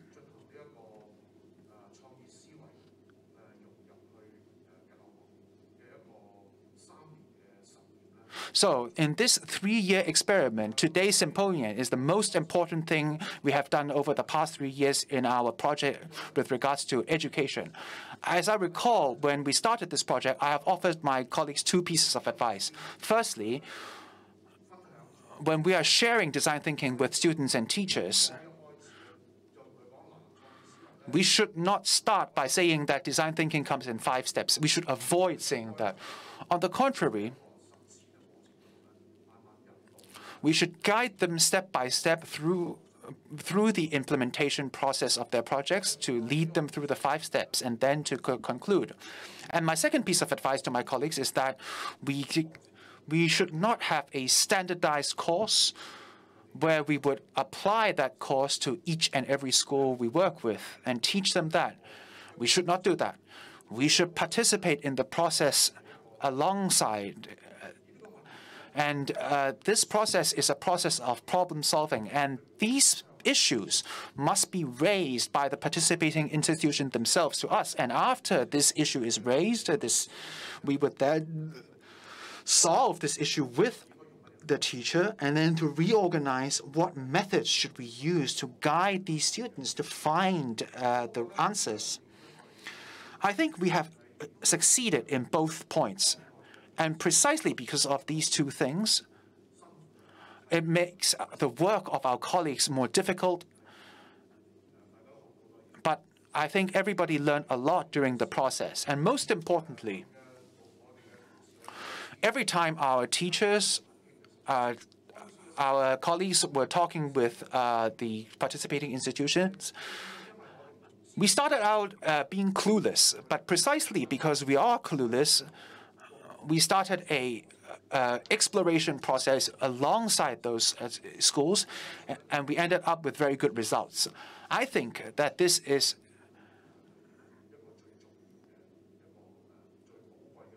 this is the most valuable and important process in social innovation and uh, innovative thinking.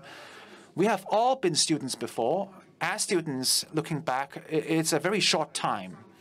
But the lovely memories we have from our uh, school days benefits us for life. Yesterday, I went to uh, the SKH uh, to share with our colleagues what we have done at JCDISI.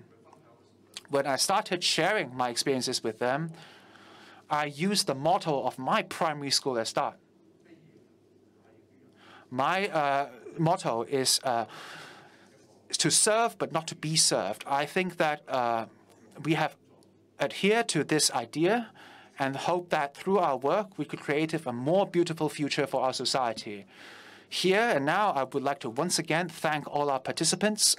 And I could say that in the next three years, we are very fortunate to receive continued support from the Hong Kong Jockey Club Charity Trust so that we could continue the Jockey Club JCDISI So Inno projects. So in the next three years, through consolidating and enhancing social innovation, we would uh, continue our work in the past three years. We hope that social innovation would become uh, uh, more popular in our society. Thank you, everyone. Thank you, Mr. Ling Ka Kan. So here ends our symposium. Before you leave, uh, please remember to fill out the survey through the QR code you see on the screen to give us your valuable feedback and to fill out the survey forms with your private details in order to obtain a copy of our Social Innovation Handbook. We hope that in the future we would continue to engage with uh, different parts of society to continue to our social innovation journey. Please follow us on our journey. Thank you, everyone.